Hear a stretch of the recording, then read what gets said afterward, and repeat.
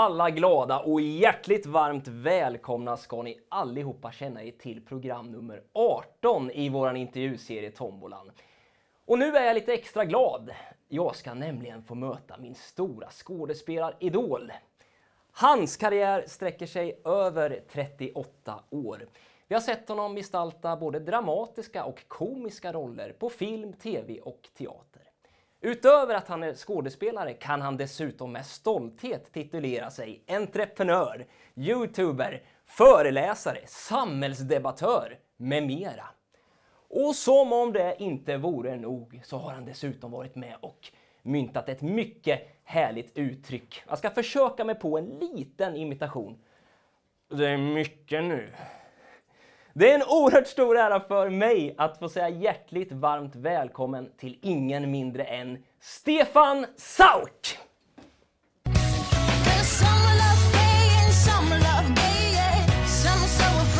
Och nu mina vänner så kommer han!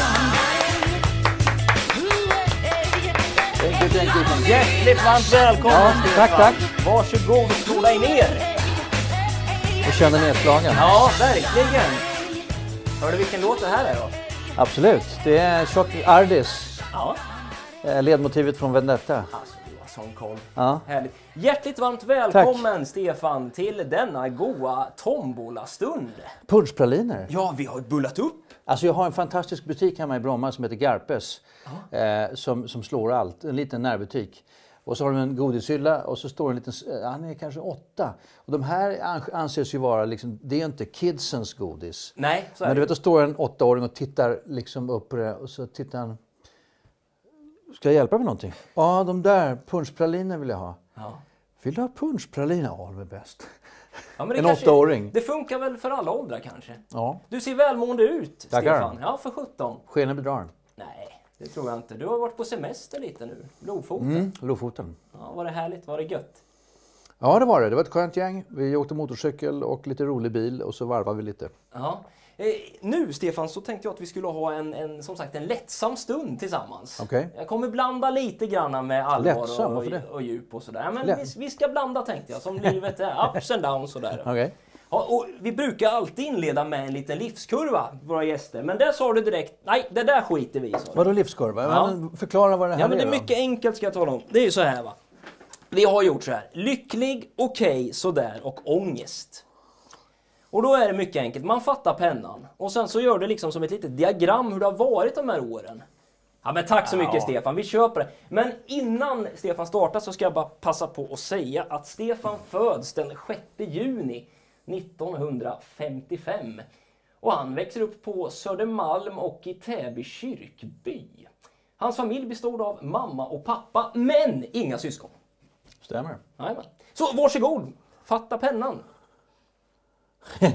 Ja, eh, 65 år. Ja, 10 år. Det är nog, det är nog 70, 80. Ja, du vet, det här blir, jag ska se, 1980. Eh, där är jag 10, 15, 20, 15.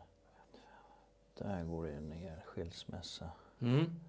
Nej, det är Ja, det är nästan ner på ångest, Ja, det är alltså. ångest alltså. ja det är ångest.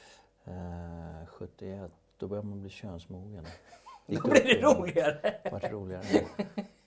Då var det liksom, då var det till och med här uppe.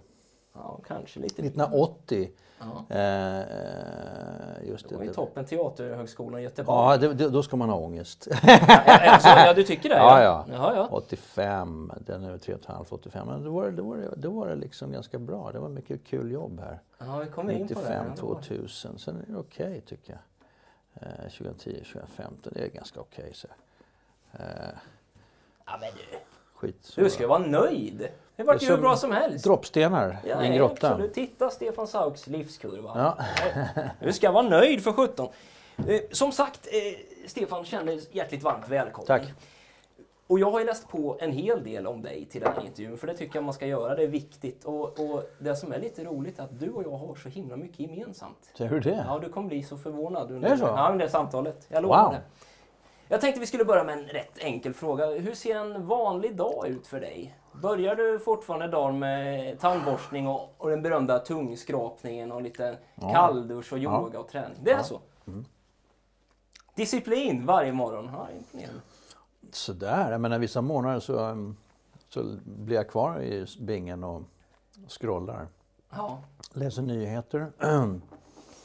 Eh, och... Ja, men ibland så... Det där är nog min... Jag gör något slags, något slags eh, fysiskt på morgonen. Antingen lite yoga, lite rehab, lite... eh, Kanske lite karate. Mm, för det vet jag. Sparkar undan lite stolar så jag får lite plats. Ja, Så jag kan köra igenom. det har vi gjort för din skull här. Du ser att vi har sparkat. Ja, nej, men jag behöver mer plats om jag ska köra karate här, det kan jag säga. Eh, så att... Um, kör igenom kater och... ehm, ja, lite meditation kanske så här. Och sen frukost och sen är det... Bäddar man sängen. Ja. Och sen... ehm, Och, och frukosten det- består oftast av havregrynsgröt. Det Ja, på vi- vintertid är det så. Eh, Ja. Sommaren så är det nog eh, yoghurt och lite schysst müsli och lite bär och grejer. Just nu är det mullbär. Det var väldigt gott. Torkade Det mullbär. här har jag ingen aning om vad det är för någonting. Nej. Då får vi googla. Ja, vi Jag fick- googlar på det här Jag fick det från Urban Deli härom, häromdagen. Okej. Ehm, ah, och... ehm, ehm, ja, sen blir det ett kokt ägg med Kalles Kaviar. Eh, och sen blir det en kopp kaffe lite senare. Mm. Träning har jag förstått, det, det är ju väldigt viktigt för dig och jag sitter ju bara eh, väldigt, väldigt nära dig och alltså, du är fit alltså. Du är i bra, bra, bra form. Hyfsat skulle jag säga. Jag kan ha varit i oerhört mycket bättre form men, men ehm, hyfsat bra form. Ja. Det är bra Stefan, för nu ska vi se om du har vad som krävs i muskelväg. Du ska nämligen få dra in en liten tombola som står där. Det finns ett snöre, ett svart precis där, nere vid, eh, vid din fot. Så du bara drar in den här tombolan så blir det en liten låt på det också. Här kommer den! Hur långt ska den? Hit? Ja, det, ja, det funkar jättebra till dig där. Och nu får jag med på hej här, det är klassiskt. Hej! Ja, sådär ja. Lättsamt och gött ska det vara. Ja. Jo, eh, Stefan, i den här underbara tombolan så ligger ett antal bilder på personer som du på ett eller annat sätt har en relation till. Okej. Nu blir din uppgift här att ta en bild i taget och prata om dessa personer i Okej. cirka två minuter. Okej. Inga problem, det är bara snurra. Ja, precis, du snurrar på den där. Snyggt Stefan! Ska Ja, men det funkar lite 50-tal, det funkar en 10 sekunder. Där blir det bra. Men innan du öppnar den så gör vi så här, en liten cliffhanger. Vi bryter för reklam. Psst, sorry att jag stör mitt i intervjun. Jag vill bara göra er uppmärksamma på att vårt underbara Youtube-program sponsras av KCA Media. Och KCA Media det är ett företag som hjälper små företag att växa i bland annat sociala medier. Gå in på www.kcamedia.se för all tänkbar information. Stort tack för att ni sponsrar oss KCA. Men nu åter till intervjun. Där är vi tillbaks! Jajamensan, det är dags nu Stefan! Varsågod! Jag tar bara ett, en Ja, det bild gör här. du. Du gör rätt. Och vi har ju som sagt tejpat dem här. Så det är De bara... är ihoptejpade. Ja. Shit! Ja, det gör inget. Då lägger vi tillbaka. Jag ska ju snurra igen Ja, misstänker det, jag. visst, Okej. det är helt rätt. Nu ska vi se då. Eh, Vem döljer sig? Lena Endre. Ja. Eh, vi, eh, vi, hon var med i Lorry eh, i ett, en liten period. Eh, och eh, där ser hon ut. ja, men vad här. Ja, Som visa upp den. så visar. Eh, Lena Endre som sagt, eh, kollega, skådespelerska. Hon, eh, eh, vi gjorde en eh, teaterpjäs som heter eh, eh, Hedda Gabler på TV-teatern. Eh, eh, och det var av Ibsen, Henrik Ibsen. Och ehm, det var en, ehm, ja bra. Det, blev en bra föreställning faktiskt. Eh, Jag spelade Eilert Lövborg och hon spelade Hedda Gabler. Och det finns en spänning mellan Eilert Lövborg och Hedda. Eh, Hon är egentligen gift med en annan. Eh, Där. Som, det är så, så vanligt, som är så vanligt i, i, i våra små villaområden. Att Ja, man går lite från... ja, just det. ja, precis. Man är där och sneglar lite på grannens, du vet vad. Jo, jo, jag Och, eh, vet det. vice Har ni någon kontakt idag du och? Nej, det har vi faktiskt inte. Ja, vi, ser, vi, så, vi sätter ihop ibland på en ljudstudio som heter Visuellt ljud. Ja. Men det fanns en, en rätt kul grej därför att vi, eh, ja fan att jag gjorde det också. Men jag körde motorcykel och så vid något tillfälle så där under inspelningen så, jag körde motorcykel, då hade jag en stor endurohoj, en Kawasaki 600. Ja. Eh, och, ehm, eh, och så frågade jag, har, har du åkt motorcykel någon? Eller det var någon gång så här, vi snackade om motorcykel och så här, jag har aldrig åkt motorcykel säger hon. Och Gunilla Rör säger samma sak, jag har heller aldrig åkt motorcykel. Ja men vad fan, då måste vi ju lösa det så att ni får åka motorcykel. Ja. Eh, så att, ehm, och det vi jobbade, jobbade, jobbade, jobbade, jobbade. Och sen så visade det sig att sista dagen så liksom hade vi fortfarande inte löst ut den där uppgiften. Och tänkte, vad fan, då måste vi fixa det eh, under dagen. På lunchen måste vi, eh, ja men då, då, då fixar vi det på lunchen. Eh, jag hade ju bara en hjälm med mig så att jag kunde ju inte liksom, annars hade jag kunnat ta med mig en extra hjälm. Ja. Om jag visste det, att det skulle bli så. Jag hade inte tanke på det. Då kollade vi i TV-huset ifall, ifall det fanns någon hjälm där i något, i något kostymförråd eller rekvisitaförråd. Och eh, vi skickade folk på eftersök där men det blev ingen hjälm. Vi, de hittade ingen hjälm. Tänkte, vad fan gör vi? Alltså. Nej, men då gör vi så här. Vi är på Djurgården, det är Ladugårdsgärde här. Vi kan, vi kan ta en kort sväng bara, gasa till ut, på, ut mot Kaknästornet i bakvägar så här. Och så tar du hjälmen på dig så kör jag utan hjälm. Eh, ja, så gjorde vi det först. Men vi hann ju inte byta om. Så jag var ju klädd som Eilert Lövborg, 1800-talsklädsel med hög vit krage lång, och så resten svartklädd. Och de hade ju stora såna här krinolin, alltså inte såna här, men, men långa 1800-tals klänningar på sig Ja. och eh, håruppsättningar som de tryckte på hjälmen och till, till eh, sminkets eller mask och kostyms stora fasa. Eh, men så tog jag först, jag tror det var Lena först eller Gunilla först. Jag vet inte vem det var som var på hojen. Men är som vi tog en sväng och de var, tyckte det var jättekul. Och sen så tog jag nästa och jag tror att det var Lena eller om det var Gunilla som var på hojen då. Då kom jag på väg tillbaka. Då hade vi dragit en repa på Vallalavägen också och eh, gasat lite faktiskt. Öst på lite. Eh, Ja, eller fram, det gjorde vi ute vid, vid Ladugårdsgärde. Och då ser jag när jag kommer från Filmhuset till rondellen vid eh, Vallalavägen där, Oxenstiernsgatan. Då ser jag att, eh, och sen ska jag svänga runt till baksidan på TV-huset. Ja. Och då ser jag att det kommer en annan eh, motorcyklist där på en eh, offroad-hoj. Eh, och så till, jag liksom, ja, ingen, han kör så och jag kör så. Och sen så gasar jag på utav helvete. För där är det inga, det är liksom, det är inga som, det finns inga där. Och sen så är, kommer vi till baksidan och så ska man in genom vakten och grinden där. Då kommer han ikapp. Nej, ja. Och visar sig att det är en civil polis. Vilken historia. Fortsätt. Och eh, eh, han hänger på in och vi parkerar inne och eh, han är jävligt upprörd. Eh, och förklarar liksom, alltså Först tänkte jag, vad i helvete är det jag ser för någonting? Är det en galen präst utan hjälm som kör motorcykel eller vad är det här för någonting? Och jag måste säga att jag blir desto mer besviken när jag ser att det är du som kör utan hjälm. För det är jävligt oansvarigt. Ja, ja, ja, jag vet. Vi hade och jävla... Och då började käften gå på mig och förklara liksom hela storyn bakom att vi har försökt få till det här under hela inspelningen. Men, men att vi inte har lyckats med det och nu hittade vi ingen hjälm. Vi jobbade i arslet. Tänkte, Fan, jag måste få åka en bit. Och så får de ta hjälmen och så kör jag så här. Ja, det spelar ingen Och sen tog han fram, du vet, bild. Han hade en lucka där bak där han tog upp bilder på folk som har kraschat utan hjälm. Det är inga snygga nej, bilder. no. Och jag sa, jag vet, jag, jag, jag säger bara mea culpa. Jag, eh, jag, eh, jag pudlar. Jag, jag, Det här kommer aldrig hända igen. Det, nu fick jag mig en läxa, tack. Eh, Så att, och så fick jag väl någon böteslapp också tror jag. Men eh, sen blev vi kompisar och vi snackade om allt möjligt och sådär. Men eh, Du, det de, var en de, historia om fick, Lena de, fick, alltså. eh, de fick åka motorcykel. Jag jag vet inte om det var Lena eller Gunilla som var, jag tror det var Gunilla som var, som var tvåan. För att eh, jag körde Lena först och sen Gunilla. Du, det fattades bara Stefan att skvallerpressen var där med en liten... Ja, men det hade blivit, det hade blivit en bra det- story. Alltså. Ja, det är onekligen. Och sen är det ju så att det var en annan tid också. Det var, det var, man vågade så mycket mer. Idag är det så skitnödigt så att man, man tror att, eh, att eh, folk springer med blöjor på sig. Alternativt en skruvmejsel uppkörd i röven. Vi ska Därför- komma in på många olika av Är det så? dina åsikter. Ja, Det ska tror du att du hinner? Ja, det, ja. Jajamensan. Vi, vi öser på i programmet. Vill du ta en till Stefan? Okej. Suveränt bra. Jag snurrar lite här. Ja, gärna gör det.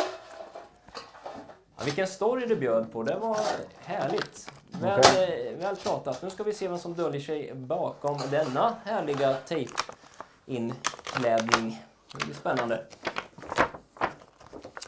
Sven Wollter. Ja! Aj, underbart, underbart, underbart.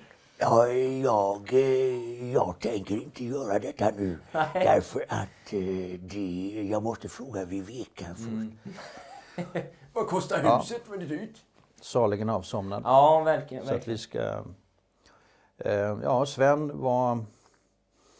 Jag gjorde, när jag gick på Teaterhögskolan i Göteborg så gjorde jag eh, praktik på Angereds teater. Där var han teaterchef. Och vi gjorde en, f- en eh, föres- föreställning som heter Klassfiende. Klassenfeind. Det heter, ja, egentligen eh, Claes Enemy, den är skriven av eh, Nigel Williams och utspelar sig egentligen i Brixton i London. Ja. En obsklass som, där lärarna en dag bara skiter i dem. Så det kommer inga lärare. Vad fan är det här? kommer inga lärare. Men vad fan i helvete vadå? Ska det inte komma några lärare? De bara, fuck it, ja, då, tar vi, då är det någon snubbe som har lite, lite mera, eh, lite ledargestalt i klassen som säger, ja men då, då håller vi lektioner själva. Du börjar. Va? Ja, nej fan. Jo, kom igen nu, upp, kör en lektion. Vad fan, lägg av! Och så där. Och så är det. Sen, den är ganska bra den här pjäsen. Men sen eh, eh, så eh, när vi skulle göra slutproduktioner på Teaterhögskolan så eh, då ville vi jobba med Sven och eh, frågade om han hade lust och det hade han.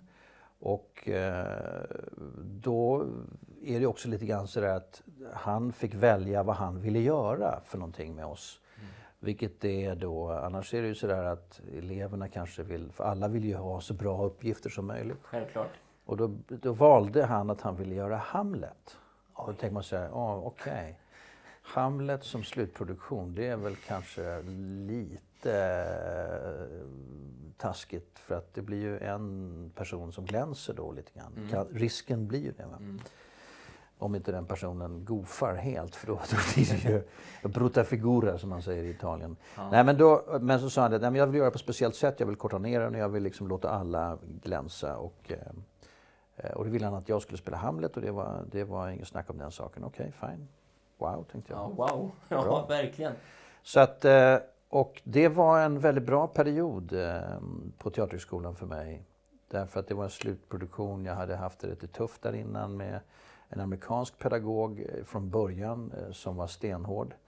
Eh, och hon var precis det som en skådespelare-elev faktiskt behöver. Men eh, vi svenskar är lite skitnödiga, lite rädda för det där raka. Hon var så rak så att det sved. Det var som en eh, samurajsvärd som bara skar in så här. Men hon sa saker som eh, var extremt relevanta. Och helt, hon sa det också väldigt osminkat. Så att vi hade en sån här relation i början. Men sen tog hon mig under sina vingar och tog mig åt sidan och sa att um, I want to work special with you, it's okay? Mm. Och så vidare. Hur var Sven Wollter då att, Han var- jobba med? För att eh, alla... Det var väldigt bra. Det var Ja. väldigt bra. Han var väldigt bra att jobba med. Och, eh, eh, jag eh, härmade lite hans sätt att förhålla sig till sin egen kropp. Ja. Jag upptäckte att han gjorde någonting med sin kropp eh, när han så att säga eh, på sitt sätt spelade. Som gjorde honom fri, emotionellt fri eh, faktiskt. Jag hade liksom, Doreen Cannon som hon hette, hon hade gjort special, special alltså övningar i, alltså med mig separat i ett rum. Som var väldigt eh, hardcore kan man säga. Väldigt krävande kan man säga. Ja, de var, det handlar om att knäppa upp revbensspjället och nå n- ner till det allra, allra innersta.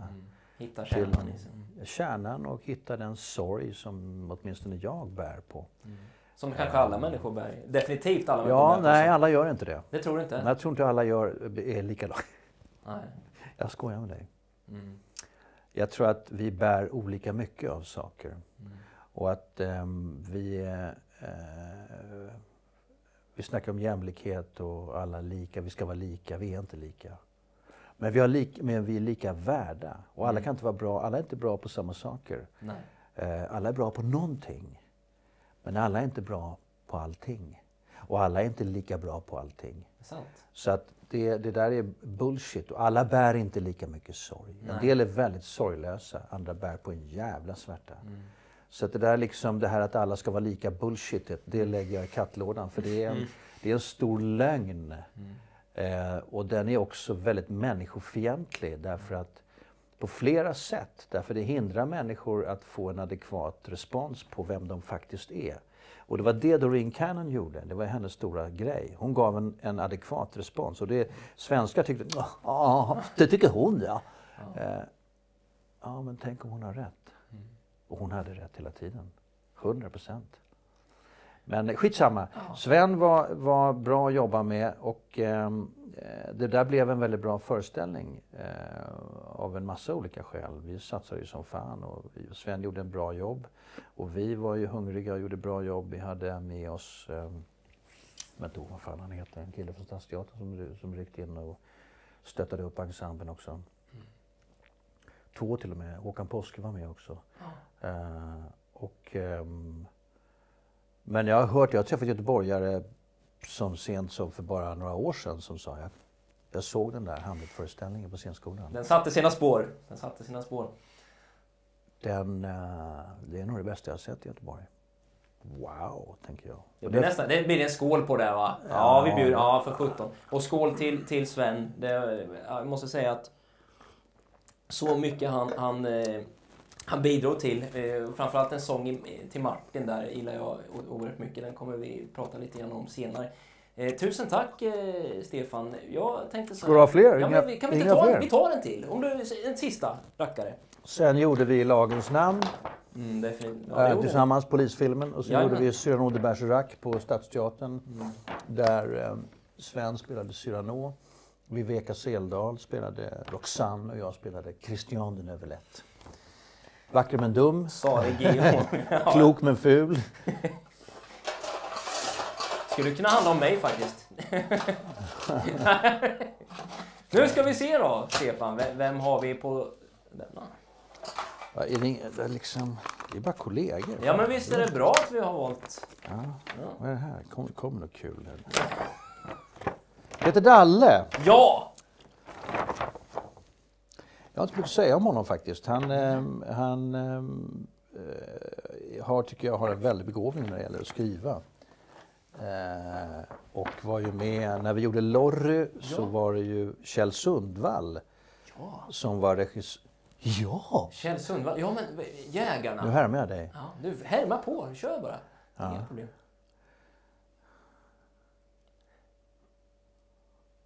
Varsågod.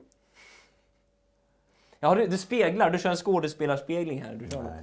Nej. Speglar, vad gör man då? Ja, man, man gör samma sak. Man försöker likna. Jag, jag, jag jobbar inte skådespelare mycket med spegel. Tycker du att jag försöker spegla dig? Ja, jag vet inte. Du ser lite filimarisk ut. kanske mm. jag också gör. Många det är tvärtom mot vad du gör. Underbart. Men Peter Dalle, eh, inte så mycket mer att säga om honom kanske? Jo, nej men det, han var ju författare till, eh, skrev, skrev texter från början till eh, Lorry. Och Kjell Sundvall var regissör och ehm, eh, ville ha med mig i programmet. Och det var ett väldigt motstånd mot det från producenterna därför de menade på att, att eh, Ja men Sauk han är, han är visserligen en bra skådis men han är, han är så jävla seriös liksom. Han gör ju bara seriösa grejer. Han är inte rolig. Ja, exakt. Har han någon komisk ådra? Nej, det vet de ju inte för de hade sett det. Eh, så, tänkte, så sa Kjell, men det är inte det jag vill ha honom till. Jag vill ha honom för att göra ett svart streck i det här programmet. En svärta i programmet. Mm. Eh, och han fick igenom det och han sammanförde mig med Roffe Börjlind som ja. är då en, eh, en av vårt lands vassaste satiriker skulle jag säga. Eh, och vi träffades eh, ute på Vaxholmettan, som det hette, ett fik, gamla, en av gamla Vaxholmsbåtarna som låg ute i Vaxholm.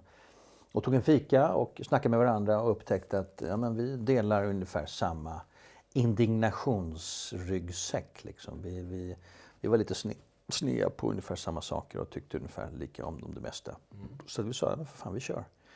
Och sen vad vi skulle göra, det visste vi inte. Så, att, så att vi, eh, vi vi hade fyra minuter vi skulle fylla i det där programmet. Och då var inte, Dalle var inte med och spelade från början utan han var bara författare. Okay, okay. Så han, han började, eh, när vi hade börjat köra igång och, och göra programmen så, och han levererade texter eh, så skrev han in en, en, en, en roll extra liksom. Och vad fan, vi har, vi har inga skådespelare. Nej, men eh, jag kan göra den. så han skrev in sig själv ja, i programmet. och fick igen, det är glimrande. Eh, nej men Peter är, tycker jag, en,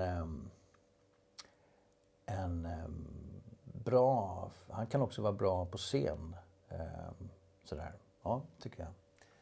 Tusen tack eh, Stefan för eh, härliga och genomgångar av tombolan. Och nu jag knäpper på den här så kommer den här att glida in, hoppas jag. Vilken då? Tombolan? Ja, då ska vi se. Ja men titta här, det trollas i studion. Ja, vad himla mysigt. Du Stefan, jag tänkte nu att vi skulle prata lite grann om din, eh, din uppväxt, helt enkelt. Jaha. Och jag vet ju att det, det bråkades en hel del hemma hos dig. Eh, ja, just det, precis. Yes. Så var det.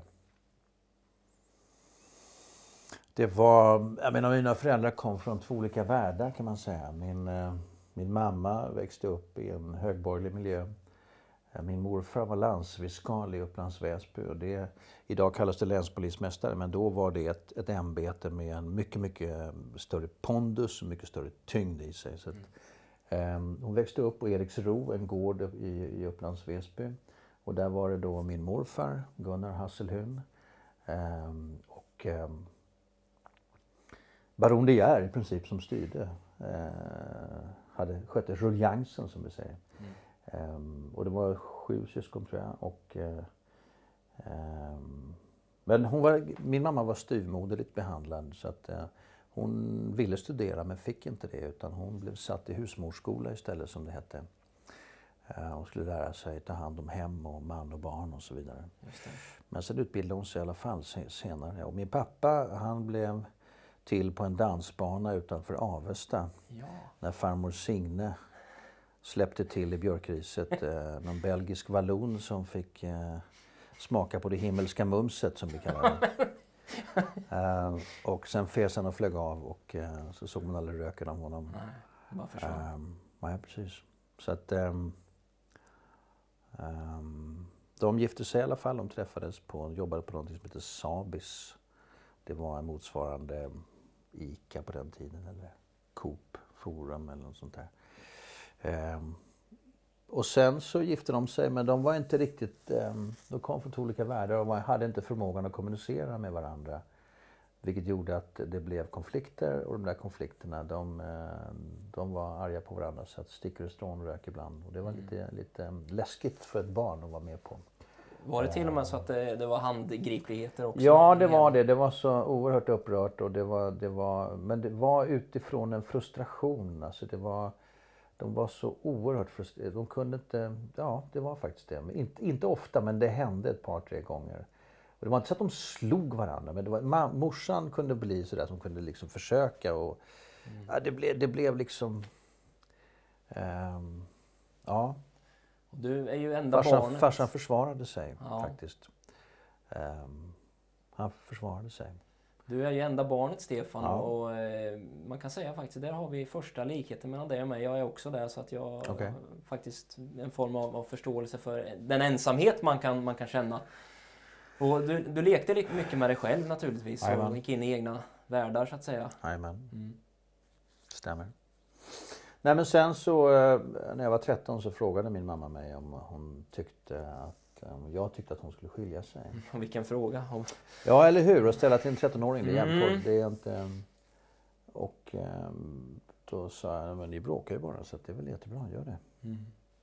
Så gjorde hon det. Så bodde jag kvar hos min morsa och träffade pappa på helgerna. Ehm, mm, så var det. Sen flyttade jag när jag var 17. En annan likhet som du och jag har med varandra det är att vi båda växer upp med en mamma som eh, helt enkelt var manodepressiv. Aha, okej. Det har jag också fått göra. Right. Toppar, dalar, toppar, Ja, dalar, väldigt toppar, dalar. så. Ja, och det, det, det var tufft. Det Och du är ensamt barn? Ja, Okej. jag har två äldre systrar men de är så pass mycket äldre än mig så att jag, jag är i princip ensam barn skulle jag säga. Ah, Okej, men du har två äldre syskon i Ja, alla fall? men vi har inte så jättebra kontakt men vi, vi träffas ibland. Mm. Är du sladdis? Jag är en sladdis. Är, hur många år skiljer det emellan? 9 och 12. 9 och 12, ja men det är ändå, du har ändå haft Mm. några? Okej. Mm, ja exakt. Ja men vi är inte så tajta så jag, jag, jag, jag förstår det. Men, men din mamma hon, hon hotade titt som tätt med det här självmords... Ja, grejen är att alltså, hon hade ett hjärta av guld och gjorde eh, så gott hon kunde. Och eh, var väldigt, eh, vad ska jag säga, tapper. Hon var, det var, jag menar, det, det, hon är ju den som så att säga som det kanske ofta är också, jag ska inte säga att det alltid är det, men, men tog ett ansvar på ett sätt för familjen som helhet och för mig. Vi flyttade ut från Götgatan 31 till exempel, där jag, hörnet Högbergsgatan. Det kanske inte är den bästa miljön. Då var det definitivt inte det. Okej. Eh, för en liten, idag är, det, är hela Söder är ju en slags eh, pyjamasdagis liksom. Eh, med, med, där folk tultar runt och tror att världen ser ut på ett visst sätt fast den inte gör det. Lite grann alltså. Odlar en liten eh, eh, quinoaböna någonstans någon, på någon balkong och känner sig jävligt... Men eh, då var det lite annorlunda. Ehm, så att hon tyckte vi skulle flytta ut från stan. Och, eh, så det var på henne. Hon de drev det projektet. Att vi landade i Täby kyrkby. Och då på den tiden var ju det, det var rena landet. Det var liksom ehm, ehm, bondvischan, alltså gubben Rönn. Det fanns en bonde som ägde allting. Och menar, Det fanns en hyreslänga där och det fanns ett hyreshus vid stationen. Det var ju bostadsrätter så att säga. Va? Och där såg de till att de flyttade in Midgårdsvägen 20 i gamla Täby kyrkby. Men då var det åkermark och framför och bakom och sen var det bara gamla, gamla hus. Idag ser det ju helt annorlunda ut. Det kan man säga. Det kan nu man är det ju någon slags eh, medelklassgetto. Carport villa, carport villa. Mm. Och de bor så de liksom ser rakt in i varandras köksbord. Eh, liksom bord. Fast de bor i villa, vilket jag tänker, fan bor ni sådär? Varför bor ni i villa om ni liksom, kan lika gärna bo i lägenhet? Liksom. Det klart man får lite större kanske, men, men och kanske får två plan också. Men, men eh, det är väldigt tätt. Eh, Jag, åkte, jag körde motorcykel för, en, eh, för lite sedan och åkte runt med en kompis och visade henne var, var, var jag växte upp någonstans. Jag höll fan inte på att hitta ut. Det var så... Jag, jag, det var så jävla mycket nya vägar. Jag liksom, var fan är jag någonstans? Men vänta nu. Ah! Här är Jarla Bankes bro för fan. Vänta, då måste det här vara TB-vägen. Men den, vad fan har de gjort med den liksom? Och här är en rondell mitt uppe i alltihopa. Och här var det kåkar och här var det det och här var det det och där var det det. Wow. Så det var helt annorlunda. Ja. Men... Eh, eh, ja, som sagt. Jag vet inte vad fan snack, Vad var frågan? Jag du får gärna sväva ut. Det är helt okej. Vi, Ja, ja, pratade du- om det här med din mammas självmord. Ja, ja, ja. Nej, men grejen var den att hon... hon ehm, hon var, alltså hade hon fått en diagnos så skulle man nog säga eh, manodepressiv eller, eller vad fan, det finns ett annat ord idag som, som är motsvarande. Bipolär. Bipolär, ja precis. Ehm, men hon fick aldrig någon diagnos. Men jag var ju 38, 40, 40 tror jag var när hon försökte första gången. Men hon sa ju det, när jag var tonåring så liksom, ja, ja, ja vad har jag gjort för fel? Jag vet inte. Ja, jag kan lika gärna dö. Alltså det är ingen kul grej för, för en tonåring. Nej, det är fruktansvärt. Det är, liksom... ja, det är eh, fruktansvärt. Det är fruktansvärt. Jaha, då liksom, ska jag ta på mig skulden för det då? Är det mitt fel liksom? Alltså, den typen av... Och det är inte medvetet. Det är ju en oförmåga som, som eh, är...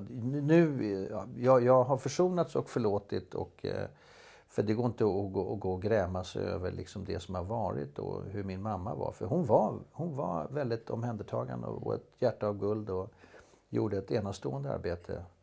Eh, Det håller jag ute, helt- ute efter sin förmåga. Men, Ja. men sådana där grejer skapar ju någonting i ett barn som eh, det barnet bär med sig resten av livet. Det är aldrig sant. Eh, Så är det. Och det här skuldbeläggandet också. ehm, Och där jag liksom till slut blir så att jag, jag skjuter henne ifrån mig. Mm. Därför att och sen när jag fick barn själv. Då var det så att jag kände att Nej, men nu fan, nu får du eh, lägga av med att hålla på. Man ringer och säger Jag känner hur läget? Ja. Ja, det är väl bra. Ja, ringer ju aldrig. Nej, men jag ringer nu för helvete. Mm. Jag känner igen det där. Ja, och det där är, det är så jävla dumt. Det är så jävla dumt. Så att, ehm, ja, det blev inget bra. Men eh, ja, jag vet inte, hon hade nog ett, ett okej liv ändå tror jag. Eh, faktiskt. Det som är viktigt Stefan, det är ju det att man, jag tror att man måste på något sätt du måste lära dig att få strategier att gå vidare. Du kan inte gå runt och älta saker som har Det varit. går inte. Det går. Man har Det- det försökt håller lägga sig på, eh, på eh, navelsoffan ibland och, eh, med hjälp av någon, något bollplank. Och det... I don't know. Nej, jag har faktiskt aldrig heller gått i terapi. Jag Ja, har blivit gjort erbjuden det. det väldigt många gånger. Men, men det har inte riktigt... Eh, Lockat? Har, nej, jag, jag, jag vill inte gräva. Jag vill jag har lämnat det bakom mig och eh, se framåt. Det, det, det är också en strategi och jag kan inte säga att det ena är bättre än det andra eller att det andra är sämre än det andra. Det, det, det finns ju en risk att det kommer att bita i svansen eh, någon gång i livet. Eh, men eh, det behöver inte göra det heller. Så att jag ska inte säga att det ena är bättre eller sämre eller Nej. bla bla bla bla. Jag har, gjort, jag har gjort så därför att jag av olika skäl har haft behov av det. så att säga. Jag tror att, man, jag tror att vi människor som växer upp idag i vår värld, eh, yngre människor framförallt, eh, behöver gå någon gång i livet eller kanske flera gånger i livet, även som ung. Och bollplanka och stöta och blöta idéer med någon som har det som uppgift att, att vara en sån, har ett terapeutiskt verktyg. Liksom. Eh, det gäller att hitta rätt bara. Eh, Ja, jag tror att det är väldigt viktigt. Jag, jag tror att man, man har behov av det. Men sen har jag ju kompisar som liksom, du ska inte gå i terapi, forget it. Det spelar ingen roll, du har ingenting där att göra. Det är många människor i min bekantskapskrets som jag aldrig skulle säga, men ja, jag tänkte gå på... Och tänkte jag, fan jag ska gå på terapi. Vet du. Nej, det ska du inte. Du ska inte gå i terapi, för det kommer liksom inte bli bra. Nej. Det finns, du är glad och du är happy clappy och du lever ditt liv till fullo. Mm, det är ju det där. Ska du Och- gräva och, och på något sätt gå in i ett djup? Men, ibland, men ibland så, så behöver man det. Eh, man har frågor, man söker, man söker svar, man undrar. Man kanske har ett mönster man hela tiden upprepar i relation till andra människor. Mm, Och vara. där man liksom känner att, vänta nu, vad, vad handlar det här om? Eh, till exempel i mitt fall i relation till det motsatta könet, i och Mm. med att jag är heterosexuell. Jag är alltså HBT, HH. Jag är H, eh, nej inte HH utan H, H, H. Ja, red gärna Skitsamma, fuck it, vi reder ut det där. Eh, HBTQIA, Ja. asexuell. Nej. ehm, ehm, jag har, upp, I relationer till, till eh, det motsatta, till kvinnor helt enkelt, så har jag, har jag liksom märkt att jag har vissa... Så fort det liksom eh, kommer ett krav eller skuldbelastning sådär, va, då, då är det någonting som... tjkung. Det blir liksom en ridå ner. Ehm, vilket har då stökat till det ibland. Men eh, Nej, men man ska inte helt säga att, att terapi inte är, är bra att gå i på något sätt. Det, det, det tror att- jag tror att- individuellt så att säga. jag tror att du är fortfarande... eh, Du har ju precis hittat du, var röven sitter på, i, i ditt liv. Vad snäll så. Ja. menar, menar du allvar? Du är så ung menar jag. Ja, men jag precis det jag menade. Vad snällt sagt. Ja, jag är inte så ung som jag ser ut faktiskt. Ja, hur gammal är du? Kan du gissa det? Du får en chans. Ja. Vad tror du? Ja, precis för två dagar sedan fyllt år faktiskt. Så vi får se om du... Jag tror att du fyllde... Jag hade skägg för två dagar sedan. Så Ja. Du är 37 skulle jag säga. Bra gissat Stefan. Nästan. 39 faktiskt. Ja, jag tänkte säga 38 först. Ja, 39. Jag skulle vara lite snäll här. Ja, tack så du Vad bra gissat av dig. Ja. Stefan, nu är det dags att grotta ner sig ordentligt i din underbara långa karriär. Okej, faktiskt. shoot. Mm. Eh, skådespelarbanan, den, den inleds, skulle man ju faktiskt kunna säga, i en taxi. Men innan dess så hinner du med en hel del annat. Du eh, hoppar av gymnasiet, du utbildar dig till frisör, börjar träna kampsport.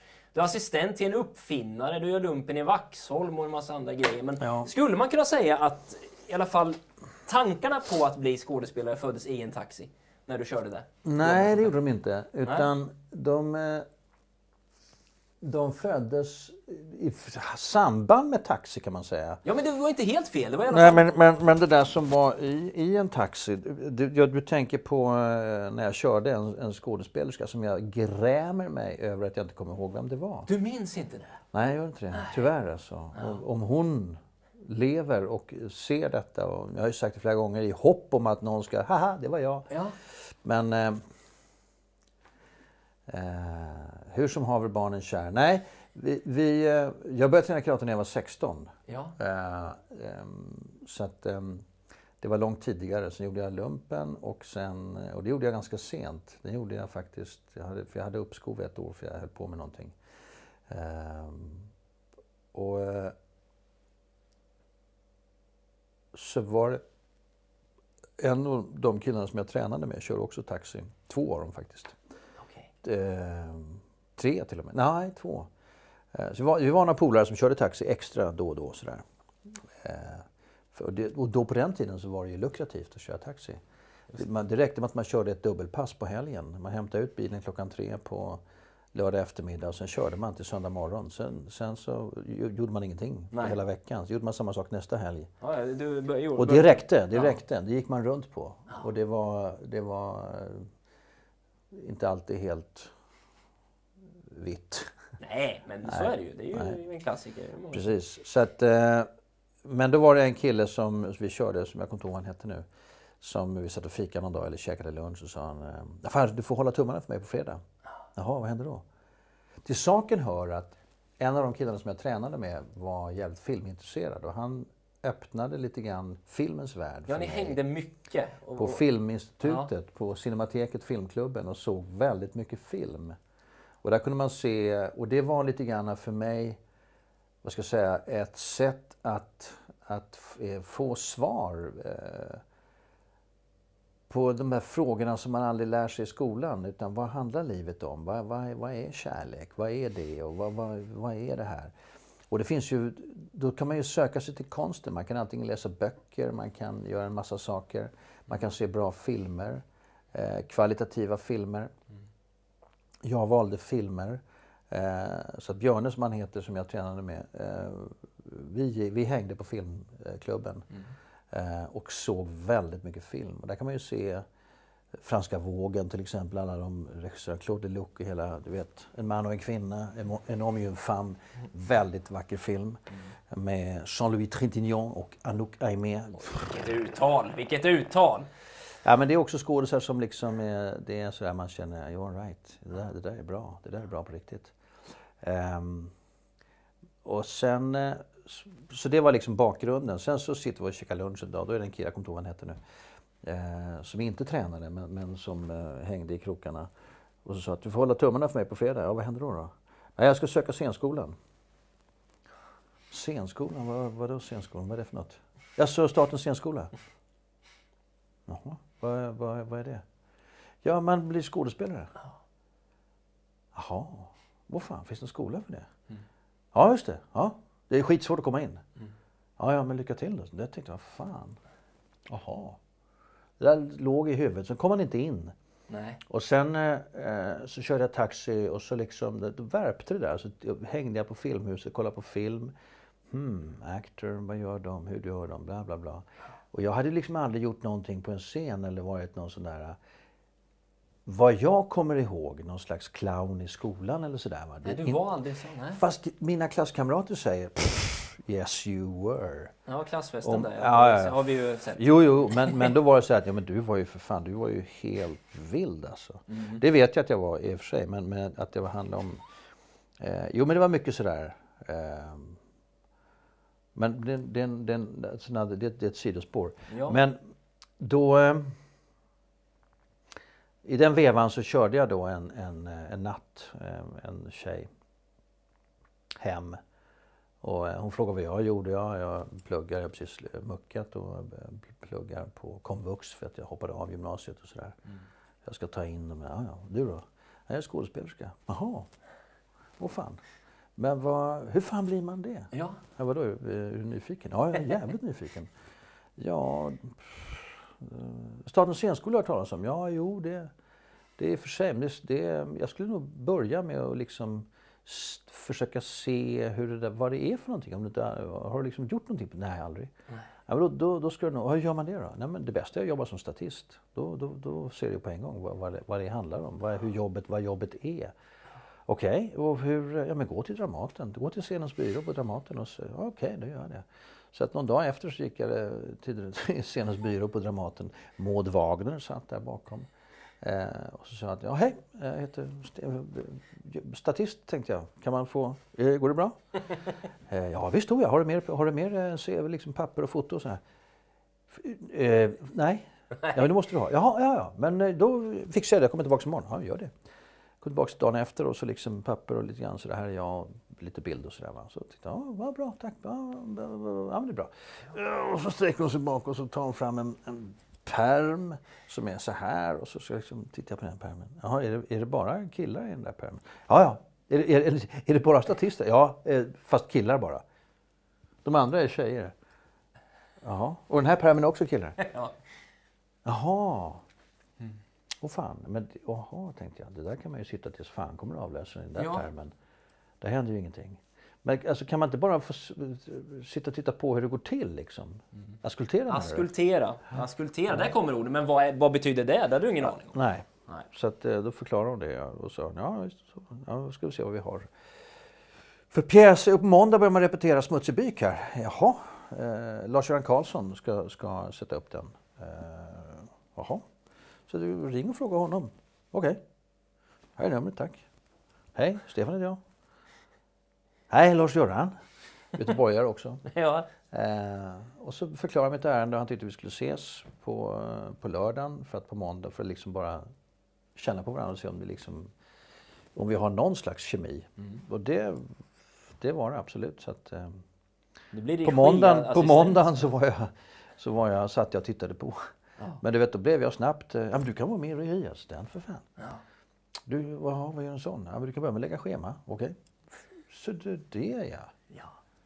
Så på den vägen är det. Sen, sen blev jag, blev jag ehm, ehm, ehm, gjorde vi Rickard den tredje och då, det var Ernst-Hugo som spelade Rickard den tredje och ehm, Legend. Legend, Ja. ja. precis. Postbanken. Han körde reklamen, kommer aldrig glömma bort. Postbanken, underbart. Ja, just det. Och ehm, han ehm, eh, använde mig väldigt eh, flitigt. Så att jag pluggade läxan med honom. Och det är en ganska diger läxa. Så att, eh, och han var sån att han vill ju lära sig texten egentligen till kollationeringen. När de andra träff, alla träffas första gången. Då ska han helst kunna texten.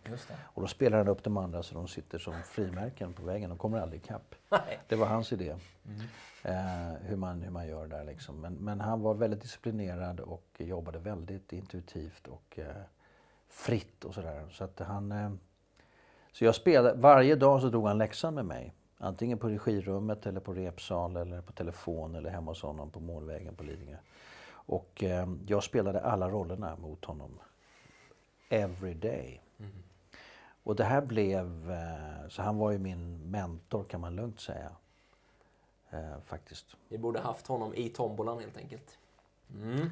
Ja men det behövdes ju inte Han det. Han kom ju med. Han Ja, kom ju med. man vet aldrig. Han börjar- med. Ja. Men du kom ju också in på Teaterhögskolan i Göteborg en tid därefter. 1980 till 84 studerade du där. Ja. Jajamän. Och det var en, en skola där du jobbade väldigt hårt.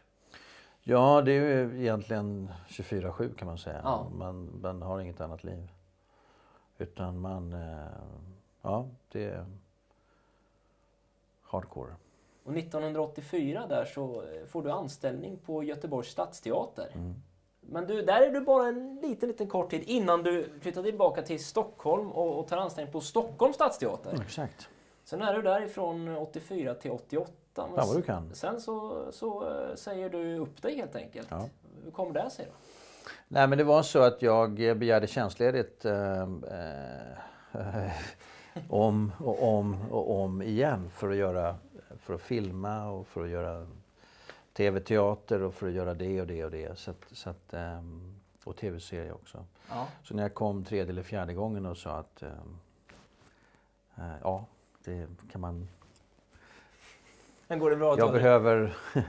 jag har fått ett uppdrag som jag, jag kan inte säga nej till det. Jaha, vad är det då? Ja, det är det och det. Oj, okej. Hur länge är du borta då? Ja, det är... Wow, tre månader minst. Mer kanske. Okej. Eh, Ja, vi kanske, ska, vi kanske ska säga upp det här äktenskapet. Ja, vi kanske ska göra det. Mm. Men du är hjärtligt välkommen tillbaka när du vill. Ja, ja visst. Ja, ja, jag dyker säkert upp igen. Så att, eh, vi, vi ses igen. Men det gjorde vi inte. Nej, då var du frilans sen dess. Ja. Jajamän. Och det har jag inte ångrat en sekund. Nej. faktiskt. Jag var tillbaka på Göteborgs stadsteater och, och ehm, gjorde en föreställning där om det var, jag kommer inte ihåg när det var nu, 2000, kan det ha varit 16 eller 6 kanske. I don't know.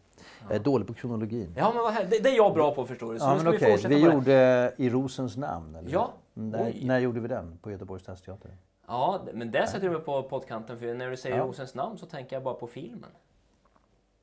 Är det en eh, Vi gjorde den som, vi gjorde den som teaterföreställning. Jaha, jaha. Jag spelade den rollen som eh, Sean Connery spelade i Jaha, filmen. Okej. Sir William Baskerville. Ja, Och den, eh, den, eh, den var, det var Jasenko Selimovic, han var ju teaterchef då.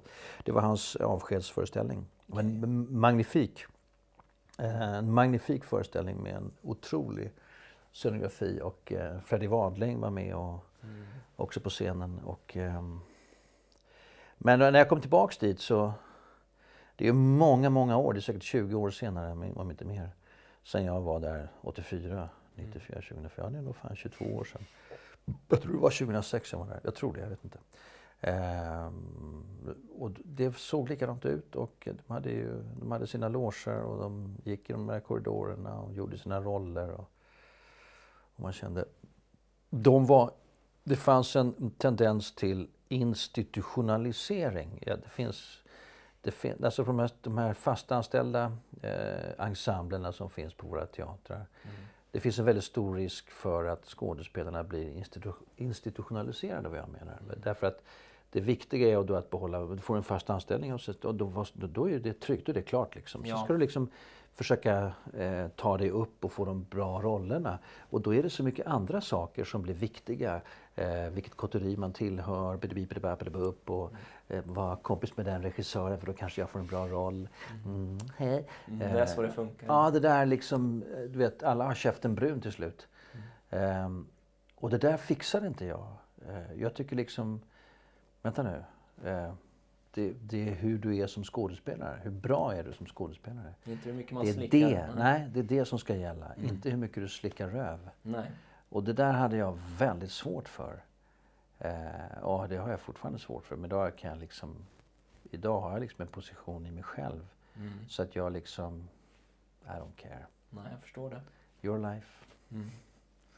Vi ska prata lite om 1985 och 1986 här, för då gör du två väldigt viktiga roller, minnesvärda roller. Eh, Lagens namn och en dramadokumentär på SVT, Sammansvärjningen. Just det. Och den visar sig bli väldigt viktig, för du får nämligen ett samtal. Från vem då? Efter den personen har sett Sammansvärjningen. Vem är det som ringer till dig då? Jan Guillou. Ja, det gör han. Och vad säger han till dig? Han såg sammansvärjningen och I lagens namn. Och därefter ringer han. Några år senare. Och... Eh, ska se, när är det? I alla fall så, så har han skrivit en roman, eller håller på att skriva en roman, om en svensk agent som han sa var den perfekta blandningen mellan greve Ribbing som jag spelade i Sammansvärjningen och den här polisinspektören Hell i, i lagens namn. En svensk agent, eh, eller operatör som man säger då, som heter Carl Gustav Gilbert Hamilton och som är greve och, och eh, Ja, sa jag. Och så frågade han om jag vill spela den rollen. Ja, det, skojar du eller? Självklart. Skick, får jag skicka boken? Ja, skicka boken. Så läser jag boken och tänker shit, det här var ju coolt. Alltså, det här vill jag göra. Jag bryter för lite reklam. Ni vet väl om att vårt program sponsras av KCA Media?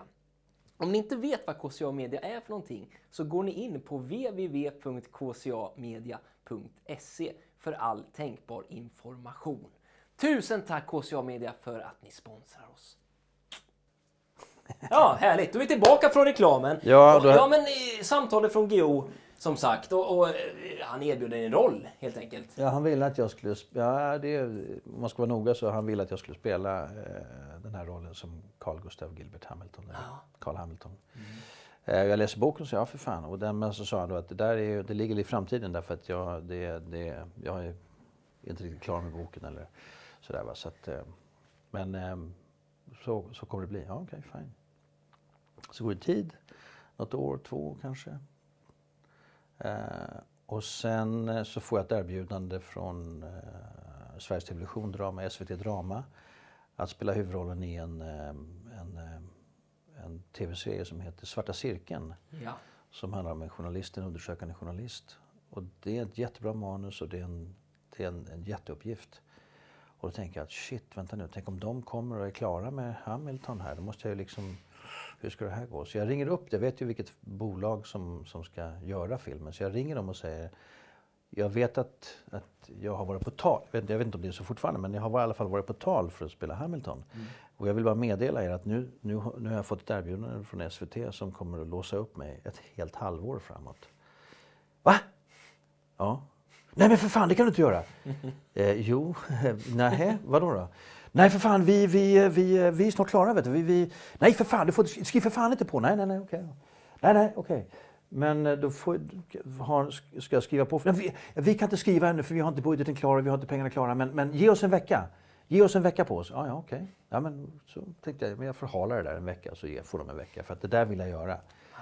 Eh, Hamilton ville först göra. Och så fick de en vecka och så sa ja, hur har det gått? Kan vi? Nej, nej för fan, vi har inte, vi, det är inte klara här Vi måste ha liksom, vi måste hin, vi måste verkligen se att vi kan göra det här nu för att, att eh, du får ge oss, kan du ge oss en vecka till? Ja, ja, eh, en vecka till och så. Jag tror det var till och med tredje gången. Så, då började de på SVT tycka, men hör du, ska du ha rollen eller inte? Det får du fan skriva på här. Mm. Och då ringde jag och sa att, vet du vad, sorry, kan vi skriva eller inte? Nej, vi kan, vi, vi, kan du inte ge oss, vi, vi, jag tror att vi kommer vara, vi, vi behöver en, en, en, vecka till. Sen, sen, det har inte lirat lite grann. de vågade inte skriva avtal med mig. Och det kan jag förstå, för det är liksom en stor uppgift och en stor påse pengar som de ska betala eller låsa upp sig med. Men det är inte alltid klart. För det, att, att, att, att, en budget, att finansiera en film är, är som ett korthus. Liksom. Det är, där kommer de pengarna, och så kommer de pengarna, och så kommer de pengarna. Men de där pengarna är beroende av de pengarna. Så faller de pengarna bort, då faller hela, hela, ah, he, hela korthuset. Va? Så, att, ah. så att alla bitarna måste vara på plats. och Okej, okay, är de på plats? Okej, okay, signa alla. Ah, vi har det! Bra, nu kan vi köra.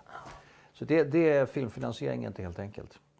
Um, så att eh, då sa jag att då, då måste jag, jag måste skriva på nu för SVT. För jag kan inte säga nej. Ah, fan. Ja, okej. Okay. Mm. Jaha, det var ju fan. Och då frågade de mig vem jag tyckte skulle spela Hamilton. Jaha, okej. Okay. Första filmen då, Coq Ja. Så jag, men ta en okänd, sa jag. Ja, ja, okej, okay. ja, vi ska tänka på saken. Så ringde de en vecka senare. Ja, vi har... Då ringer de mig och frågar. Ja, vi, vi, har, vi har två förslag. Ja, vad är det då? Thomas Pontén eller Stellan Skarsgård? Ja. Ja, men ingen av dem är ju okänd. Nej. Ja, liksom Stellan som, som uh, Hamilton, det hade jag svårt att se. Så jag sa att Thomas Pontén skulle kanske kunna, man skulle kanske skrämma upp honom. skrämma upp? Ja, men så han fick lite fart i, i, okay. i uh, systemet så ja. att man skulle kunna tro på honom. Ja. Uh, så att... Um, Ta Thomas då, säger jag. Ja, vi får se hur jag gör. Så var det Stellan som gjorde första filmen. Ja, så var det. Ehm, Cockrouge. Och sen ehm, blev det Peter Haber. Mm. Och sen så skulle Micke, Micke Hofström göra Vendetta. Och eh, då hade vi jobbat ihop. Vi hade jobbat ihop. Den gjorde vi innan, gjorde vi inte det? Nej, vi hade gjort någonting i alla fall. Eller så hade vi inte gjort det. Vi gjorde det senare kanske. Mm. Vi gjorde det senare. Eh, men vi hade jobbat parallellt. För när vi gjorde Lorry så hängde vi i gamla Radio Sweden-baracken på SVT. Och då satt Micke och eh, bearbetade manus för Hassel. Ja. Så att vi lärde känna varandra där. Och, var det eh, inte någonting som kallades för gaskammaren där? Oh, Samtons, ja, precis. ja, det måste vi prata Men vi ska naturligtvis... Vi ska, vi ska, I alla fall, sen så när Micke skulle göra Hamilton, då, då ville han att jag skulle göra Vendetta. Ja. Eh, och det, var, det finns mycket att säga om det. Och eh, det var ju kul. Då vart det, fick jag till slut göra den där rollen. Så Stefan, vi... vi, ska prata om Vendetta. Men innan vi gör det så ska vi sticka emellan med, med det stora folkliga genombrott. Och det är ju med Lorry och eh, dessa underbara sketcher. Och vi har lite ljudklipp. Varsågod okay. och lyssna. Njut. Och ni där hemma också. Ja, ja. Bengt Bergfors, du är VD i statliga PPP, Pensionärernas produktionspotential. Hur tänker ni gå tillväga? Ja, förr hade vi ju ätterstupa, men idag låter vi dem leva, men till vilket pris? vanvård, ensamhet, isolering. Nej, vi måste börja återanvända pensionärerna för att göra dem lönsamma igen.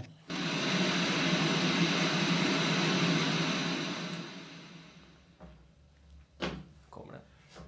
Ja, det är mycket nu. Jag har åkt på de där jävla hemorrojderna igen. Ja, inte vågar man gå till doktorn eller så länge de där jävla styckläkarna är ute i svängen. Ah, man vet ju inte om man får arslet med sig hem igen. Ah, jag är skeptisk. Nej, men det här är kult, Stefan. Ja, det här är jo. kult. Det här är kult. Det blev lite kultstämplat. Det är kul. Det är kul. Det är ett uttryck som ibland kommer unga människor och säger ja, det är mycket nu. Och så säger man ja, Ja, men det där är ju liksom Vet nästan knutet till vet- folksjäl. ja vet du var det där kommer ifrån? Nej. Sen, nej men säger man till den, den unga personen Ja. då. Ah, nej, jag har ingen aning. Det, vad, fan, det är väl på tv någonting sånt där. Eller vadå? Var kommer det ifrån? It was me. Jaha, Ja. okej. Nej, men det- det var jag som sa det. Ja, Det ja, ja. jag som ja, ja, ja. Det myntade, ja, ja, men Yes. det var inte dåligt. Hej du, hej du! Ja, det, så skulle man kunna säga. Och naturligtvis så ska vi prata 1995. Jag tycker att du gör en helt fantastisk rolltolkning och eh, det är bara jag sett... 1995, vad, vad hände? 1995, Vendetta. Ja, ja, ja. Mm. Och vi har ju naturligtvis också ett ljudklipp hur det lät på den tiden. Varsågoda!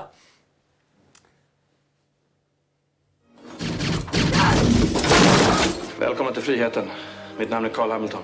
You could have been born a Sicilian, Commander. But then by now, you would probably already be dead. Jag förstår Stefan att du måste ha tusen anekdoter från, från filminspelningen. Och jag älskar ju att prata filminspelningar. Har du någon anekdot att bjuda på som du inte har pratat om någon gång? Det skulle vara väldigt intressant. Någonting som hände under filminspelningen som du aldrig har pratat om.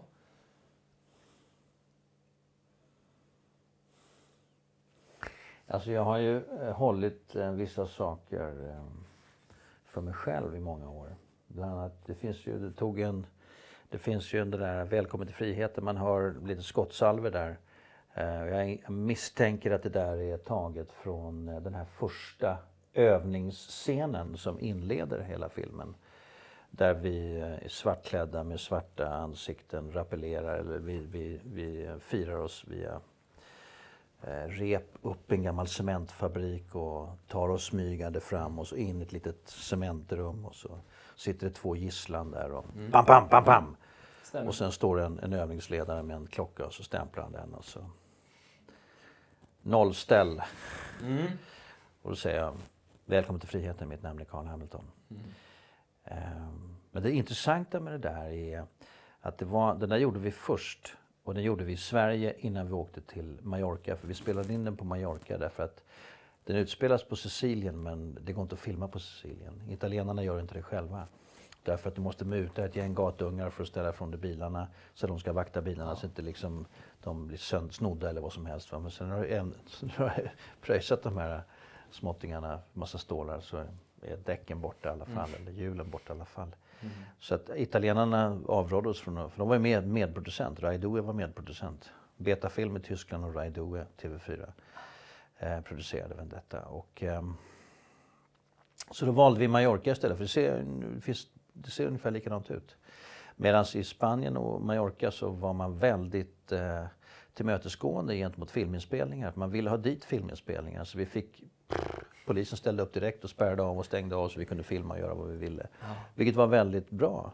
Men den där första scenen, då ska vi ha då eh, MP5 eh, och de ska vara ljuddämpade i slinga då så att säga så man eh, kan röra sig och snabbt få upp dem och skjuta. Eh, och jag hade ju väldigt mycket mm, vapenvana sådär. eh, så att eh, det var en militär, eh, vi hoppar över namnet nu, eh, som eh, hade varit ute i världen och eh, på massa eh, uppdrag som kanske inte är, är verifierade. Men, men också som, eh, som fick uppgiften då via... Jag hade ju mina kontakter med, med eh, Försvarsmakten. Ehm, Så att jag var med och bearbetade manuset till exempel.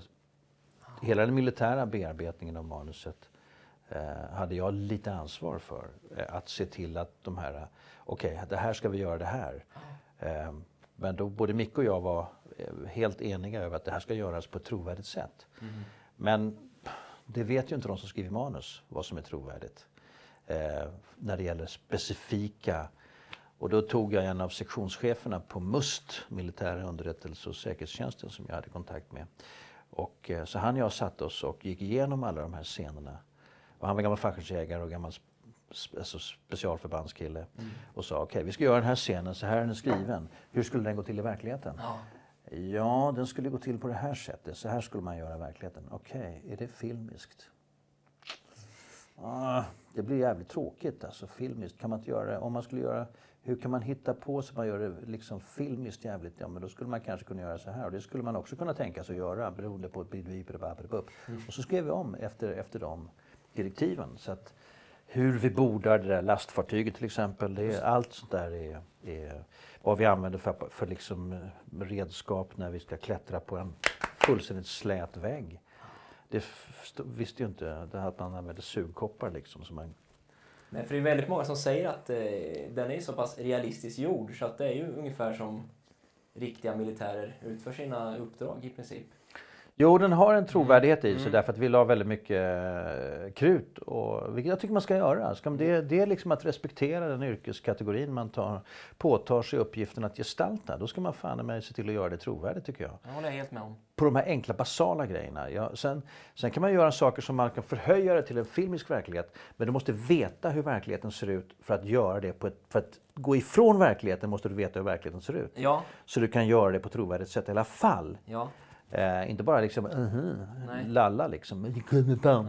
Det blir så fånigt. Mm. Men i alla fall, den där första scenen, då, då skulle det levereras MP5. Då hade vi inte klart med, eller den special effect-killen som var vapenansvarig, en, en dansk som heter Hummer, eh, som är en legend i sig, eh, var inte i Sverige. Han skulle dyka upp först på Mallorca när vi skulle börja filma där nere.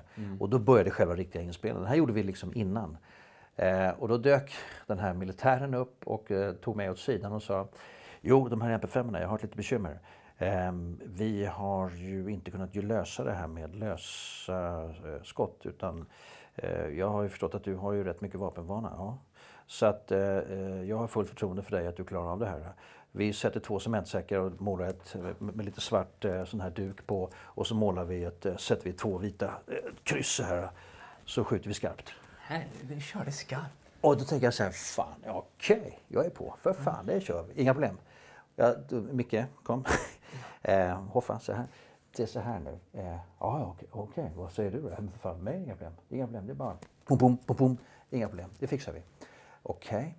Men du vet, det är ett litet cementrum som inte, det är så här litet liksom. sitter två snubbar där. Jag ska bara stå så här in, bam, bam, bam, bam. Två double tap liksom i de här små säckarna, cementsäckarna då. Men skulle jag missa? Då står jag mitt i ett litet cementrum med, rikos, alltså rikos, eh, med rikoschetter. Det är ju fullständigt livsfarligt. Ja. Men jag var övertygad om att det där, det där löser jag. Eh, för jag hade, trä, jag hade också tränat jävligt mycket eh, just för den här filmen. Med att kunna dra concealed weapon jävligt snabbt och så vidare. Eh, så att eh, producenten fick ju höra det här och eh, han var ju på väg att dra i handbromsen. Men vi övertalade honom sa att vi kör. Okej, okej vi kör. Så då riggade man kameran så att den var inne i rummet för det fanns ett fönster där. Det fanns inga fönster, det var liksom bara en fyrkantigt hål i den här cement. Det var en- en nedlagd cementfabrik som såg som en ruin. Liksom. Men högst upp där i det här tornet, där fanns det här rummet. Och där riggade man kameran så att kameran var på insidan. Eh, och de startade kameran från utsidan och gick runt på, på utsidan av cementrummet. Så att hela teamet var ju liksom helt... Så det var bara jag och cementsäckarna. Oh. Eh, så jag hoppade in där och så drog jag eh, två skott i varje och de satt precis där de skulle sitta. Eh, och sen klippte man och sen så tog man in, eh, satte man kameran där och tog in allihopa och så var, fick han då säga sin, stod med sin klocka och jag säga repliken. Ehm, så att eh, det, var skarpt. Jag sköt skarpt där med skarp ammunition. Varför har vi stuntmän för? Det behöver vi inte ha, du kör det själv. Det bara Ja, för men jag, jag gillar att göra det själv också. Ja. Men, men sen var det vissa saker får man ju inte göra. Va? Jag, menar, jag fick inte klättra på det sätt jag ville göra. Nej. Bara för att det var liksom för farligt och man skriver massa avtal, eller såna här försä- papper på försäkring, man får inte göra det. Fick inte träna kampsport, fick inte köra motorcykel. Men vad fan, jag kör motorcykel och tränar kampsport. Vad, vad ska jag, that's my life. Det har du gjort ett Det gjorde jag i alla fall. Det gjorde ja. jag liksom i alla fall. Ja.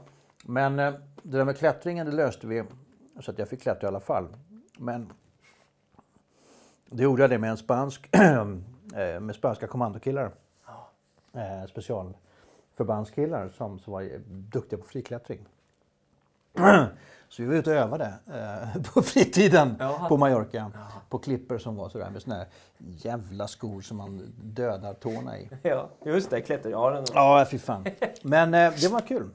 På- Apropå det så såg jag en, en fantastisk dokumentär om eh, Alex Honnold, tror jag han heter. Han, han eh, har fli, friklättrat på den här El Capitano, den här 900 meter höga klippan i eh, Yosemite National Park. Eh, och det är filmat. Den, den dokumentären ska man se. Säg det igen Den- i kameran här. Ja, den dokumentären ska man se. Namnet. Eh, jag kommer inte ihåg vad den heter. Nej. Eh, men det är bara att googla på Alex Honnold. Eh, och jag, jag kommer inte ihåg vad den heter. Free climbing, free... Nej, jag kommer inte ihåg vad den heter. Nej, men googla på den namnet. Stefan, jag är lite förvånad och nyfiken på samma gång. Varför vart det bara en eh, Hamilton-film? Ja, vi skulle ha gjort nästa film också. Vi hade ett optionsavtal på att vi skulle göra Hamilton också. Den som, heter, den som blev döpt till Hamilton. Ja. Eh, men samtidigt hade vi en klausul, både jag och Micke i manuset, att vi, eh, eller i avtalet att vi skulle godkänna manuset. Därför att vi var lite sådär eh, med en räv bakom örat så var vi lite osäkra på hur, hur eh, man vill först se att det finns en, en, en bra grund att stå på.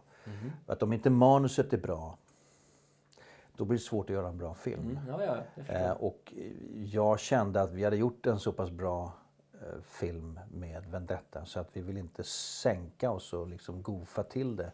Och då vill vi först se manuset att det liksom håller och om det inte skulle hålla då hade vi en bakdörr via avtalet.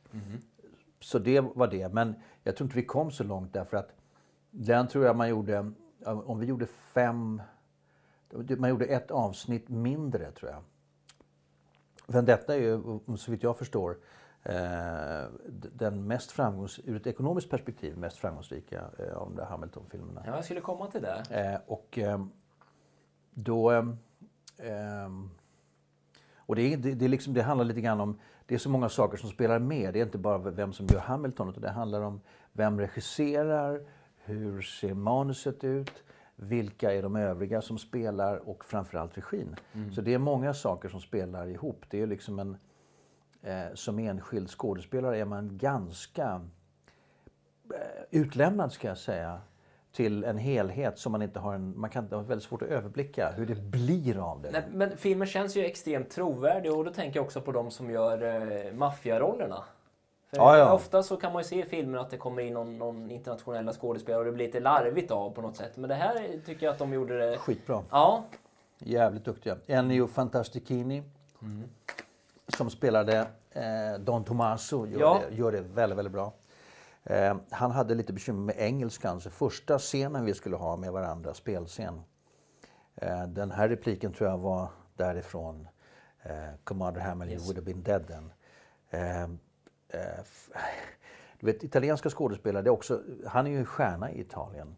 Framförallt han som spelar den stor, den, hövdingen i, i de militära sammanhangen där. Orso Maria Guerini heter ja, han. ja. Han är, båda två var med i La Piovra, alltså Bläckfisken, en maffiaserie som var väldigt, väldigt bra. Och Orso Maria Guerini är, är stor, stor stjärna i Italien och Ennio Fantastichini var också det, inte lika stor men, men, men du vet det är halsdukar och svepa in och man ska liksom leva upp till stjärnrollen sådär på ett annat sätt. Vi svenskar ska ju vara liksom, vi är ju så jävla jantestyrda. Ja, vi så jante. vi ska ju inte vara liksom, inte jag är väl ingenting. Och Inte bla, bla, sticka bla, bla. ut. Nej, sådär va. Så att vi, vi är ju lite coolare. Jag har ju inte varit så...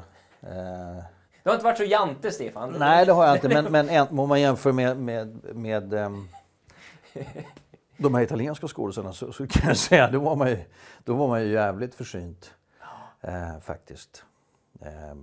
Alla Men det, jag tror det är det som många gillar. Men han hade, han hade ett helvete med engelskan. Jag tror vi gjorde 16 tagningar på en liten jävla replik eh, i början. Men sen, kom han, kom han, sen liksom fattade han själv att det var helvete. Han sladdade in och tänkte att jag bara glider in och kör. Men så märkte han att fan, här var det på en jävla nivå liksom. Så han fick ju sätta sig och börja plugga, plugga, plugga. Eh, men det gjorde han och gjorde ett jättebra jobb tycker jag. Ja, jag tycker den är en underbar film. Det, den, den gillar Ja. jag skarpt. Jag vet att många där hemma också gör det. Stefan, du har ju alltid visat på ett stort mod i din karriär. 1998 så är det dags för dig att göra musikaldebut. Miss Saigon Just på det. Göta Lejon. Ja. Och det går ju så himla bra så du vinner ju en Guldmask för bästa manliga musikal. Artist. Jajamensan. Och, men det som är lite roligt med det här, det är att du egentligen, när du skulle få rollen, så trodde du att du skulle vara med i blåsningen. Ja, jag tror det. jag visste att de hade försökt några gånger, men jag hade liksom... eh, Jag hade bra intel, som det heter. Alltså underrättelse. Så jag, jag hade, men men ehm, nu trodde jag att det var det, så att jag, de sa kan, kan du komma upp på ett möte på Miss Saigon? Eller på, på Göta Lejon? För att vi, eh, vi skulle vilja att du var med i en musikal. Ja. Are you Me? Ehm, ja, på fredag. Fan. Ja, fredag är lite svårt, men ehm, måndag, går det på måndag? Mm. Måndag klockan tre funkar också. För då fick jag helgen på mig att liksom försöka klura ut om är det här blåsningen? Så jag ringde Johan Thorén och jag ringde en massa andra och sa liksom, vad fan har du varit i en blåsning på någon? Ingen, ingen, ingen visste någonting. Fan också, tänkte jag. Ja, men då eh, tänkte jag, ska vara smart. Så jag åkte dit på motorcykeln, hade hjälmen på, visiret nere med, för solskydd. Liksom, alltså, med, du ser inte igenom. Eh, hade det nerfällt, kommer upp och säger, och så kommer jag in på rummet där på kontoret på Göta Lejon.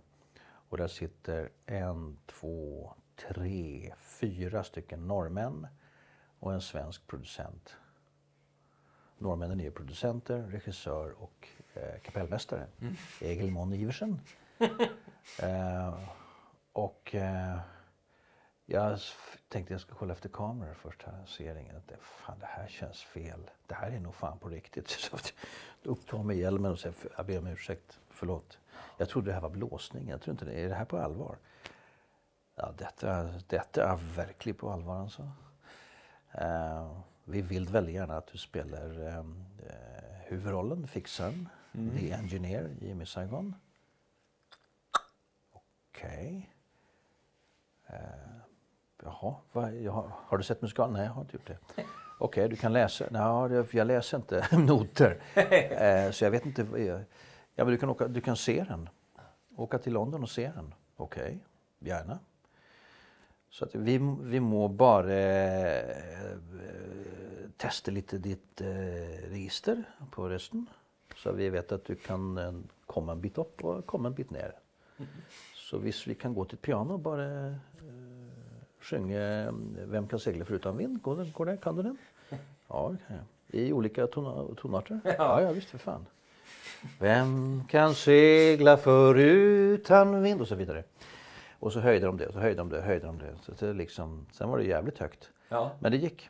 Eh, så ja, det är inga problem. Du har, eh, du har registret för det i rösten. Så att, eh, jag skulle säga det är lyrisk bariton. Så att eh, det är klartecken för mig. Så, I egen mån så var han liksom musikaliskt ansvarig.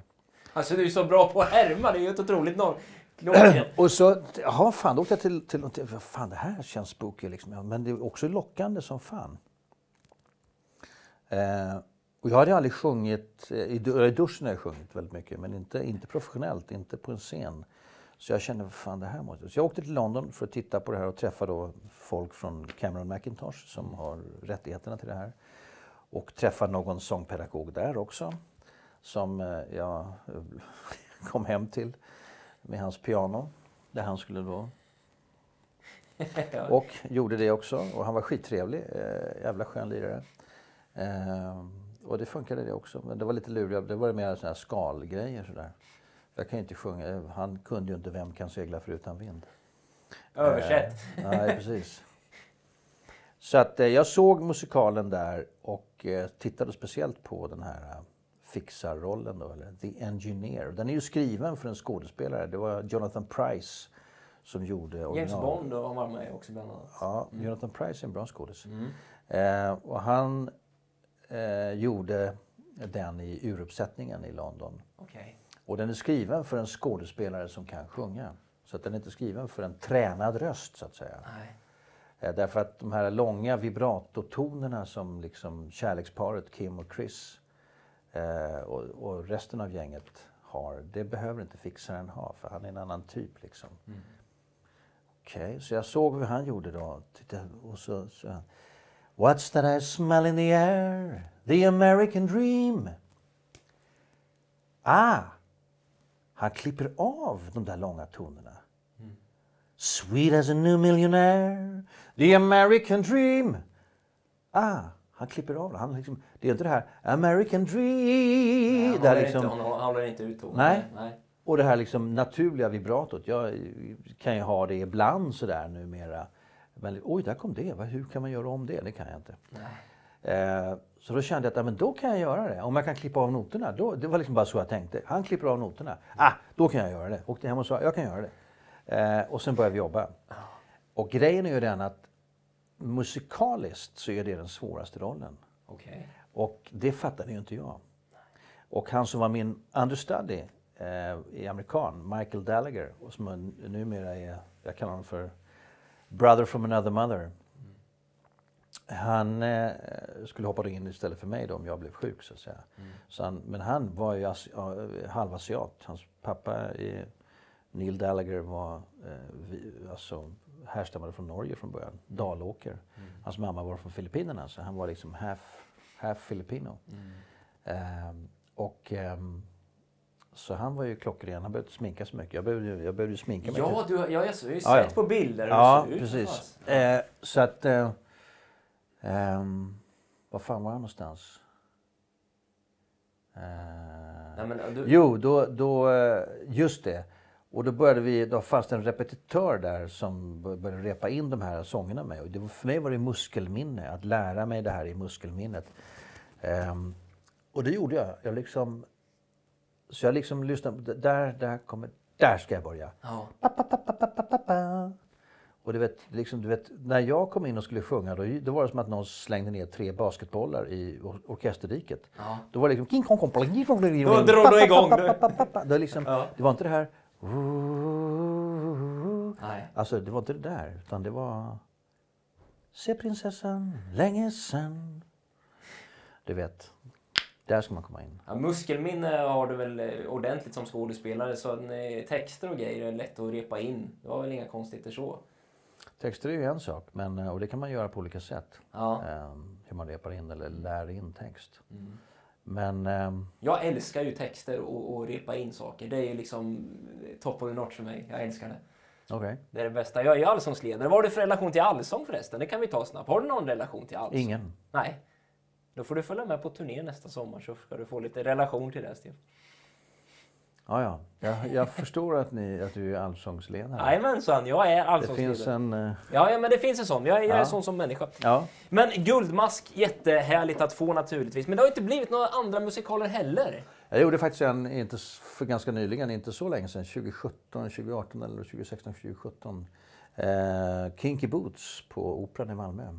Okej. Eh, och det tack, tackade jag ja till bara för att eh, jag skulle få komma ut på 14 centimeter höga klackar i slutet. Aha. Ehm, which I did. Yes, you do. Ehm, det var kul att göra faktiskt. Ja, Det var intressant. Det var väldigt intressant. det är inte alla dagar i veckan man går i klackar. Hörru du. Nej, det kan jag säga. Ska man försöka dansa i dem också så var det, det var jävligt lurigt alltså. Ja. Ja, men det var, det var ingen lätt grej. Det är stövlar, röda mockastövlar som gick hit upp med eh, 14 centimeter höga. Det var alltså 14 centimeter höga klackar. Ah, fy högt. 17. Ja, det är mycket. Du Stefan, vi ska prata också om en Avrunda. film som jag tycker... Jaha, eh, nej. nej. det ska vi inte göra säger du, vi har mycket mer. Eh, vi Fem minuter har vi ska, Nej, för fasen. Här hittar vi... eh, Så här är det, vi ska prata om en film som jag tycker har blivit lite bortglömd. Väldigt konstigt också, för att den är suverän. Jag fattar inte riktigt. Dykaren från Mm. år 2000. Den spåddes ju att bli en riktig publiksuccé Mm. på alla sätt och vis, men, men så blev det inte riktigt. Den hade alla förutsättningar men Ja. den, blev, den blev massakrerad därför att produktplaceringen var så obscen i den filmen. Och det var ingenting som vi visste om. Jag såg det när man hade första genomköraren, visningen av filmen. Då fick jag en fullständig chock av eh, att se eh, de här billboardskyltarna på någon liten skogsväg eh, i Bohuslän med vad alla jävla företag hette som liksom plötsligt skulle vara med och hade varit med och betalat. Det blev liksom, den fick käft för dålig pr- produktplacering. Men, men om man skiter i produktplaceringen, som är vid ett par tillfällen, så fick den oförtjänt mycket stryk tycker jag. Därför Ja. filmiskt sett och acting-wise, pff, det är kanon. Det är skitbra. Håller helt med. Den är skitbra. Dykaren är en fantastisk film tycker jag. Mm. Eh, väl spelad, bra skådespelare. Eh, Klaus Maria Brandauer är med. Kevin Hjelm är med. Eh. Alexander Domagarov från Ryssland, jättebra skådis. Mm. Isabella Scorupco gör jättebra. Eh, fantastisk roll. Eh, Keve gör en av sina sista roller. Så att den, eh, den eh, ja. Det var, producenten är, var en, en person som inte riktigt funkar i det svenska klimatet kan man säga. Eh, han hade egna, egna- han är ju inte heller svensk, så att eh, Castro Katib. Och ehm, han var bra på, på att rackla ihop pengar för att göra filmen och um. Men det andra var svårare. Men, men vi hade kontroverser kan jag säga. Ja. Och, och när jag såg, eh, såg filmen, jag ska inte peta på den där, lägga undan den. Såg första genomkörningen så sa jag, Castro, vad fan har vi gjort? Alltså, det, här, det, här kommer att, det här kommer sänka hela filmen. ja, du Var såg det ja, ja, jag såg det på en gång. Jag sa det på en gång. Och det var innan premiären. Nej, nej för fan. Det är där. Vadå? Det är, alla gör, alla gör. Det är fan, nej det är skitbra. Vi måste göra det. Måste jag. Ja, ja. Så det var rätt tufft liksom. Jag var jävligt förbannad. Mm. Ja, Ja, men jag, jag såg liksom ett, ett, ett, en baby, ett jobb liksom bara liksom go down the drain. Därför att någon klantar till det. Och det är så Mm. lätt att klanta till. Eh, film är lätt att klanta till. Mm. Det behövs inte mycket. Men den är väl värd att se där hemma och den finns på en hel del streamingtjänster också. Gör den det? Dykaren. Ja, den ska det finnas. Så att kolla på de som finns för 17. En ung Alexander Skarsgård är med Ja, också. bara en sån sak. Ja.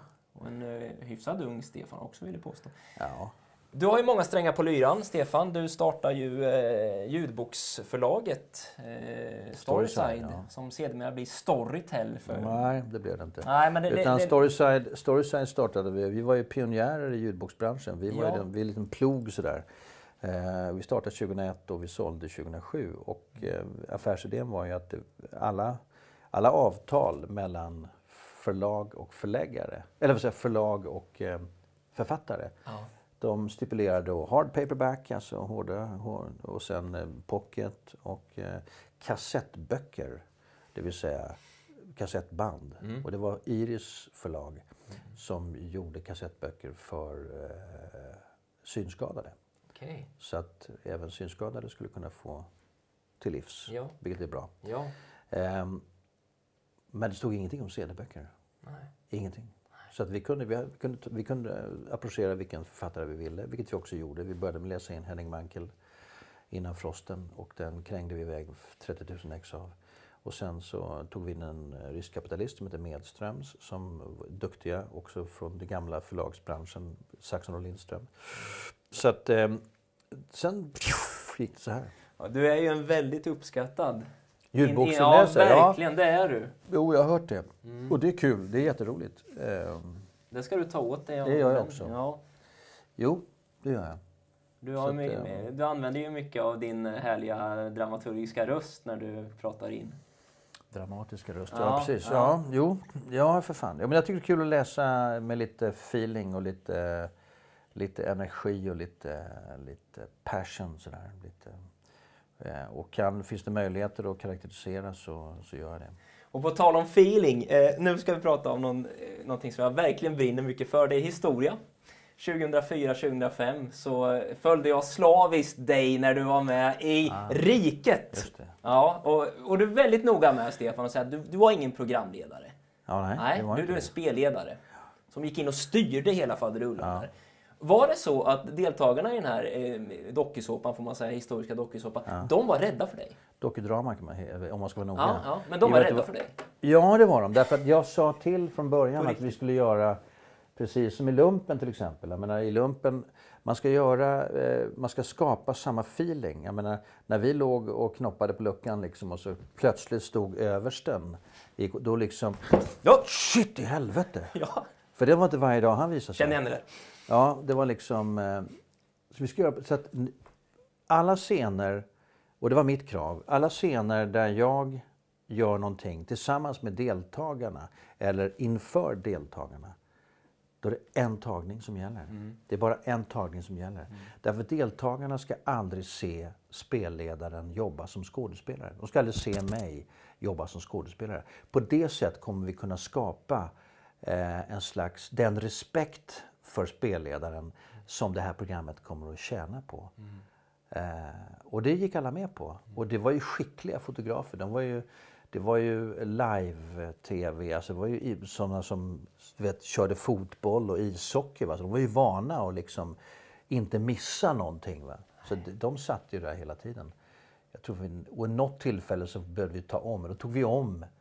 Då fick de ta om utan mig. Spelledaren gick bara. Han sa sina grejer. Och det var lite lustigt därför att då kunde vi skriva en scen med mina repliker. Men vi visste ju aldrig vad, vad, vad den där deltagaren skulle svara. Nej. Vi hade ju ingen aning om det. Så det var, jävligt det var väldigt kul att göra för att det var väldigt speciellt. Och så kom den här vederbörande in på rummet och sa, jaha, där är du ja. Ja, du, är så, Ja. du är så jäkla grym med det där i, i, i riket. När du, den gubbe som kommer gående vid ett träd. Och så säger du står vid trädet och sen så han, han ja du står i den pos, positionen ja. Posen. Du, du poserar så här idag. Kommer du ihåg när jag säger Ja, ja. det är Nej. helt- nej, du står, Vad sa jag? Ja, du står i, i den eh, positionen. Sa jag det? Ja. Ja, ja, men du kan byta. Du behöver inte stå där. Och han gör verkligen det. Det är som en gubbe. Han blir alldeles... ja. ja. De smälter ju för dig. Nej, men de var helt, de var, de var liksom, de blev så här. Ja, och det var på riktigt. Det var ju på Ja, riktigt. det var på riktigt. Och det, skap, det lyckades vi skapa bara på grund av att de aldrig såg mig jobba som skådespelare. Jag beblandade mig aldrig med dem. nej. Utan eh, jag kom in, gjorde mina grejer, stack. Eh, Och den One serien, take. Ja, one take. Och den serien är jag övertygad om, den skulle hålla än idag. absolut. Mm, det skulle den. Ja, för fan absolut. Grejen är, ja, man kan säkert köra den i repris. Det borde de kunna göra. För att, eh, och den är också, nu vet jag inte om de kan det. Det, jag, det, det kostar ju pengar att reprisera saker. Eh, och den var ju väldigt dyr att göra. Den var otroligt påkostad. Och det, vi skulle göra en tredje säsong och då skulle vi göra Romarriket. Eh, det blivit jävligt kul. Men, men eh, det kostade ju, så det var mycket internt, eh, alltså jag tror att det var väldigt mycket internt krig på tv. Att liksom, varför ska de få så mycket pengar? Varför ska de göra mycket pengar? Eh, så de inte kunde försvara det. På, I don't know. I don't know. Nej, men jag, Jag hörde det i alla fall. Det Ja. mycket, mycket sånt. jag hoppas Så att de- den kommer tillbaka på något sätt. Eh, ja, repris ja, men inte, jag tror inte vi gör den igen. Jag tror inte SVT gör den igen. 2005, Stefan, så eh, i samband med också att du spelar in Riket så, eh, så händer det någonting jobbigt i ditt liv. Det året så mister du båda dina föräldrar. Just det. Och det är att mista en, men nu mister du båda på kort tid. Ja, Ser du det, tillbaka på det? Ja, det... För där är vi också lika du och jag nämligen. Ja, du har tappat båda? Båda två. Okej. All right. Så är det. Ja, då vet du hur det är. Eh, Min mamma dog i februari. Nickade i filmjölken på morgonen. Fick en propp i lungan och då skulle man egentligen ligga bredvid en respirator för att klara sig. Då har man inte många sekunder på sig. Nej. Eh, Min pappa hade prostatacancer eh, och hade haft det i säkert 20 år utan att veta om det. Ehm, Och sen spred den sig och det gick väldigt snabbt. Ehm, Men ehm, han var klar i knoppen hela vägen ut. Gammal krigare, frivillig i finska vinterkriget. Eh, Så han dog eh, 7 juni. Så var det. Ja, det är tufft liksom att göra två dödsbon Ja, på ett år. man vet liksom. ju vad som väntar en själv så att säga. Så känner jag. Det, Yeah, that's det, life. Det, ja, ja, men så That's är det ju. life. Så Det var någon som sa att det, det är först när ens föräldrar dör som man blir vuxen. Ja, jag har inte tänkt på det, men kanske Nej, men det ligger något i det faktiskt. Därför att det, det är liksom, ja, just det, det här är livet ja. Det börjar där, slutar där. Den enda jämlikhet som finns egentligen, det är att vi alla människor är lika inför döden. Det är den enda jämlikhet som finns. All annan jämlikhet är bara nys, det är en skrivbordskonstruktion. Egentligen är det jantelagen som är upphöjd till politisk idé. Eh, faktiskt. Och den är, den är människofientlig. Därför att den tar inte vara, den ger inte människor utrymme, utrymme att vara det de kanske skulle kunna vara. Nej. Ja, inför döden är vi alla lika. Det går Exakt. inte att göra så mycket åt Det det. finns inga fickor på svepningen heller. så Nej, att- så är det ju. Hur rika vi än är. Det finns ju lite saker som du tycker väldigt mycket om. Och det är bland annat det här har jag förstått det som. Klockor? Klockor är Ja. en eh, fascination. Ja, det är Var det. kommer det ifrån? Vad är det här för något? Ja, men det, du ska få se. Det Det här, är min, det här är min faders guldklocka. Ska du få se. Fick han när han jobbade 50 år på ASEA eller vadå? Nej, på bruket i Spångsholm. Just det, gammal klassisk Satina ja. Mm. Men du.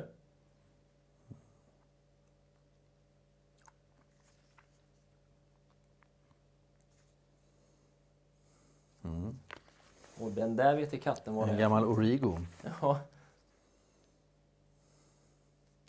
Det som är lite roligt, jag har aldrig i hela mitt liv haft på mig en klocka. Är det så? Ja, så är det. Never, Och vem, vem har haft den här? never in my life. Jag vet faktiskt inte det. Varför har du den? Ja, den är som ett sparat minne. Den har legat i den här som är min faders. Okej. hela Så det är förmodligen din pappas då? När han, Det kan ha det kanske var hans eh, när han inte ville ha guldklockan på sig. Mm, exakt. Så hade han den på sig. Men Var kommer din fascination av klockor ifrån då? Jag vet inte hur du, jag, jag, det, är, det är många som, som är fascinerade av klockor. Ja, Och framförallt män. Därför att, och jag kan tänka mig att det har lite att göra med att ehm, det är det enda smycke som vi män kan egentligen ha. Eh, som vi kan laborera med. Och sen kan det vara, många har också en fascination för tekniken, för hantverket. Ehm, och för många är det bara en enkel statussymbol. Att visa upp att man har en Rolex eller vad det nu är för någonting. Va? Eller Audemars Piguet eller något annat brackigt. Men så finns det ju vissa klockor som är, som är, som är fulländade. Jag menar, jag är fascinerad av, jag älskar IWC till exempel som är eh, International Watch Company, Schaffhausen. Eh, fantastisk kronograf. Jag har en, en eh, Flieger kronograf. Jag har inte den på mig ikväll. Nej, den, här, den, här, ikväll? den här är faktiskt... ehm, eh, den här finns inte... Det finns bara en liten, liten edition av den här. Jaha. Och det här är, den är framtagen till... Jag är ju Sveriges största pilot-wannabe. Därför att jag ville bli pilot från början. Ja. Jag ville bli flygvapenpilot, men jag blev inte det. För att de tyckte att den där grabben, han kan vi inte lita på. Men jag har, jag har kompenserat det sedan 1990 och haft förmånen att få flyga rätt mycket. Väldigt mycket faktiskt. Eh, och eh, jag har flugit Lansen, jag har flugit Viggen, jag har flugit eh, JAS Gripen. Jag har flugit eh, kanske 60-70 timmar på SK60. Och även SK16, en gammal propellerholk. Respect. Eh, och det här är... Och det finns en, en, en flygvapendivision som jag har haft mest och mycket kontakt med och det är andra division på F21 Luleå. Urban Blå som den heter. Eh, och den här är, de hade 60-årsjubileum i år eh, för Urban Blå, för den divisionen. Och den här klockan är framtagen till det 60-årsjubileet. Så det här är, urtavlan är då, eh, de här siffrorna, färgen och typsnittet på siffrorna är samma som sitter i draken. Eh, och de här knapparna som du startar kronometern med, det, de är eh, gjorda i, i luftintagsformen som är på draken, Okej. 35an. Och så har du kronvapnet där och så har du Urban Blå divisionsmärket där. Och du har även Urban Blås divisionsmärke i den lilla minutvisaren där. Om du ser det. Ja, hur, må- hur många klockor har du hemma egentligen? Jag vet inte. Jo, men jag har ett gäng. Det har ett gäng. Ja, det förstår Den här är, och det är en svensk klocktillverkare som heter Malm som, gör, som har gjort den här. Den är faktiskt eh, inte helt gratis heller. Den, Nej, den är, den är, ser inte gratis ut. Nej men den är, den är, den är överkomlig för vem som helst. De gör coola klockor faktiskt. Eh, men de har specialiserat sig på att göra eh, framförallt till, eh, till flyget sådana här jubileumsklockor. Så den här finns det väldigt få av. Men den, är, I like it. En Draken. annan sak som du Ja. verkligen gillar. Okej. Jag vet att tiden har gått över lite, men vi Ja. måste ju bara prata om, om... Nu ska du få se något kul här. Okej. Kolla vad jag har med mig till dig. Där har vi den. Ja. Oskar Surström. Vad tycker du om den då? Jag är ju bortskämd. Jag äter ju, har ju förmånen att äta, att äta Grand Kallax surströmming original. Här ser ni alla tittare. Surströmming, men men du älskar surströmming? Ja. Ja. Det, det, det, Jag är, hedersmedborgare i Kallax Ja, surströmmingssällskap det är du. och eh, första provsmakare också i Kallax surströmmingssällskap. Och i år så fick jag Surströmmingssällskapets, eh, eller Surströmmingsakademins guldnål. Och den eh, fick jag av landshövdingen i Norrbottens län i år på surströmmingspremiären. Gratulerar. Tackar. Gratulerar. Så att, eh, men det är, en annan, det är en helt annan... Jag skulle, jag skulle vilja gå så långt som att säga att den surströmmingen som vi gör själva där uppe, det är en annan maträtt än den surströmming du köper i butik. Ja, det kanske inte alls går att jämföra överhuvudtaget. Nej, det är därför jag säger att det är en annan maträtt. Ja, och jag har ju bara testat eh, Mm. den billiga sorten så jag ska väl kanske till och... Den här är ännu billigare, eller, eh, men du, inte, du kan inte köpa den. Den får inte säljas. Nej. Därför att EU har en gång bestämt, de bestämmer så mycket saker där. EU som är århundradets affärsidé för byråkrater. Ja, Stefan, även om tiden börjar så måste vi ändå prata lite grann Jag, bara, om... om jag måste bara kl- klargöra Ja. vad, vad grejen med surströmmingen är. Ja. ja, det får du gärna göra för det är Eh, många som undrar. Därför att EU har då bestämt att den surströmming som säljs i butik i Sverige, den måste vara lagrad på plasttunnor. För det är mer hygieniskt, Okej. har man bestämt i EU. Okej. Eh, Jaha, vänta nu. Det är en fermenteringsprocess, det vill säga det andas. Men plast andas inte. Nej. Det innebär att all surströmming som du egentligen köper i butik, den är lagrad på plasttunnor, för det måste vara det, annars får du inte sälja den. Nej. Eh, den är i princip lite sönderjäst, enligt mitt sätt att se på det. Det håller inte alla med om, men, men, men så är det. För mig. Och den, är, den har en frän doft och den, den har den här avloppsdoften också. Sen smakar den inte avlopp, den smakar helt annorlunda. Så att eh, den där går absolut att äta. Eh, det finns en annan sort som heter Borkboströmming eller Borkboströmming som är, som är bättre än Oscars. Och den där när du öppnar den, då sprutar den. Våran surströmming som vi gör i Kallax, den får inte säljas i butik. Nej. Därför den är lagrad på gamla ekfat, gamla whiskyfat från Skottland. Eh, och ehm, vi bara spikar igen locket och så får den, får den stå där och jäsa. Medan de här plasttunnorna får man liksom, det, liksom, det måste ju luftas på något sätt. Eh, så att vår surströmming är, he, den är helt annorlunda. Eh, den har en doft, ja, men inte avlopp. Nej.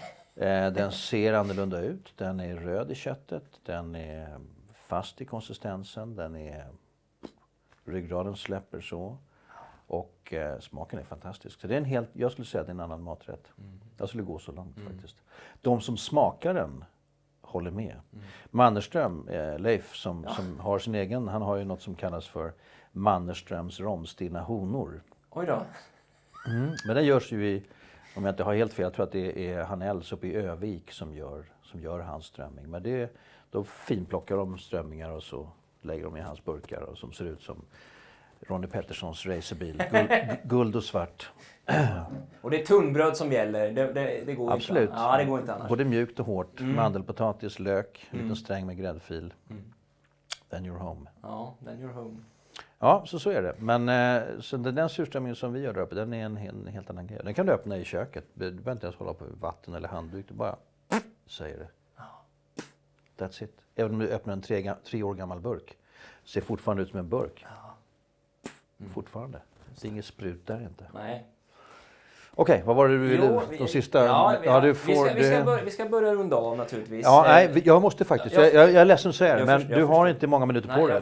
Du, du går på övertid så det Övertid. dammar om det. Det har varit väldigt trevligt att Ja. ha dig här Stefan. Jag hade ju tusen fler frågor. Jag kanske Ja. får chans att bjuda in dig igen. Ja, jag, jag hade förstått att det var en, halv, en och en halv timme som vi skulle köra. Du men- vet när jag börjar prata, Ja, då, okej. då händer det grejer. Jag hade tusen så? frågor till. Okej. Men jag tycker absolut att vi, vi måste prata lite vad händer om framöver för dig? För du har ju alltid många strängar på lyran. Mm. Bland annat Youtube-kanalen där hemma som jag tycker ni ska spåna in. Just det. Tillfälligt utbrott. Ja, finns en Facebook-sida också som heter det. Eh, ja, vad ska jag göra framåt? Jag, eh, ljudböckerna har ju, där har jag varit lyckligt lottad under pandemin därför att eh, de, det var, har varit en sidosyssla för mig. Men den sidosysslan var plötsligt, från att vara en sidosyssla vart den ja. Okej. Eh, Så jag satt i studio, jag har en egen studio hemma också, och läste ljudböcker hela 2020. Eh, och allt annat var ju ned, nedlagt. Och, eh, kulturbranschen har ju fått stryka med restaurangbranschen, hotellnäringen.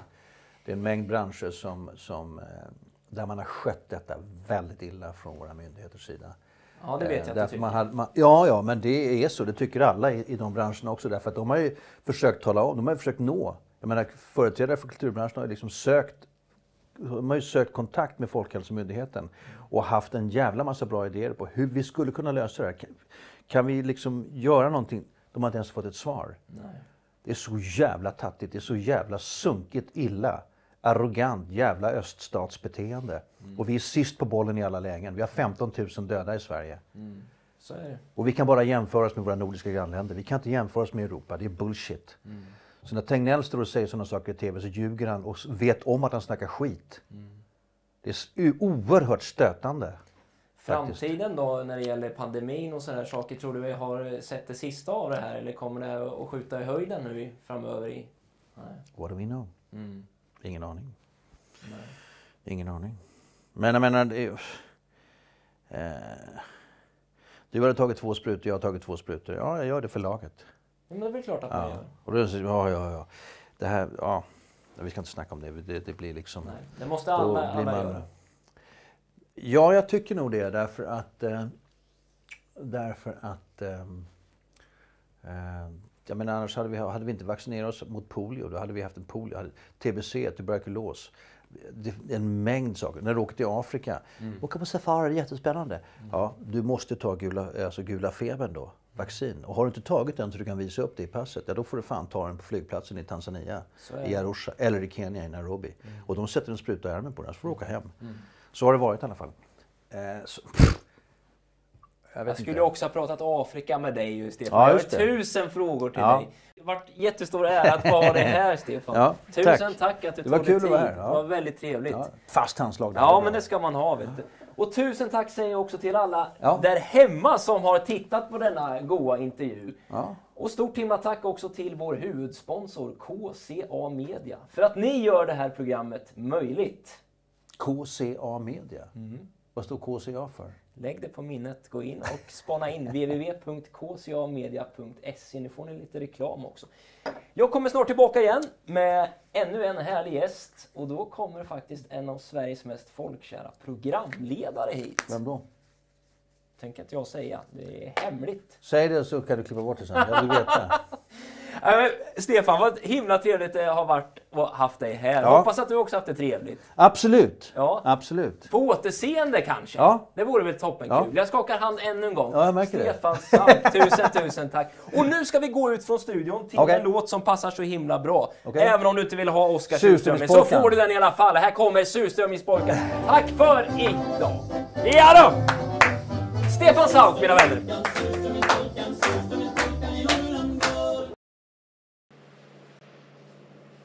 Hejsan alla glada! Här sitter jag efter en underbar intervju med allas våran Stefan Sauk. Vad tyckte ni där hemma?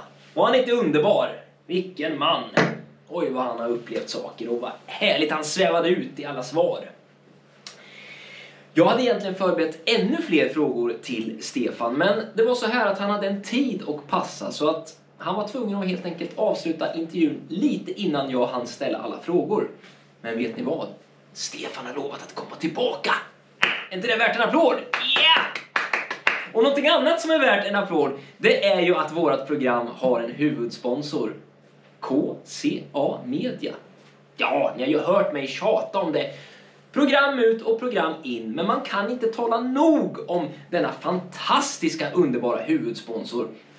Vad är då KCA Media kanske ni undrar? Jo, KCA Media det är ett företag som har inriktat sig på att hjälpa små och medelstora företag att växa i bland annat sociala medier. Vilket underbart jobb de gör. Jag tar en klunk vatten och så säger jag så här. På återseende. Och alla tittare, tack för att ni tittar. Och glöm nu för all del inte att ge ris som ros. Ha det riktigt gott så ses vi snart igen. Hej då!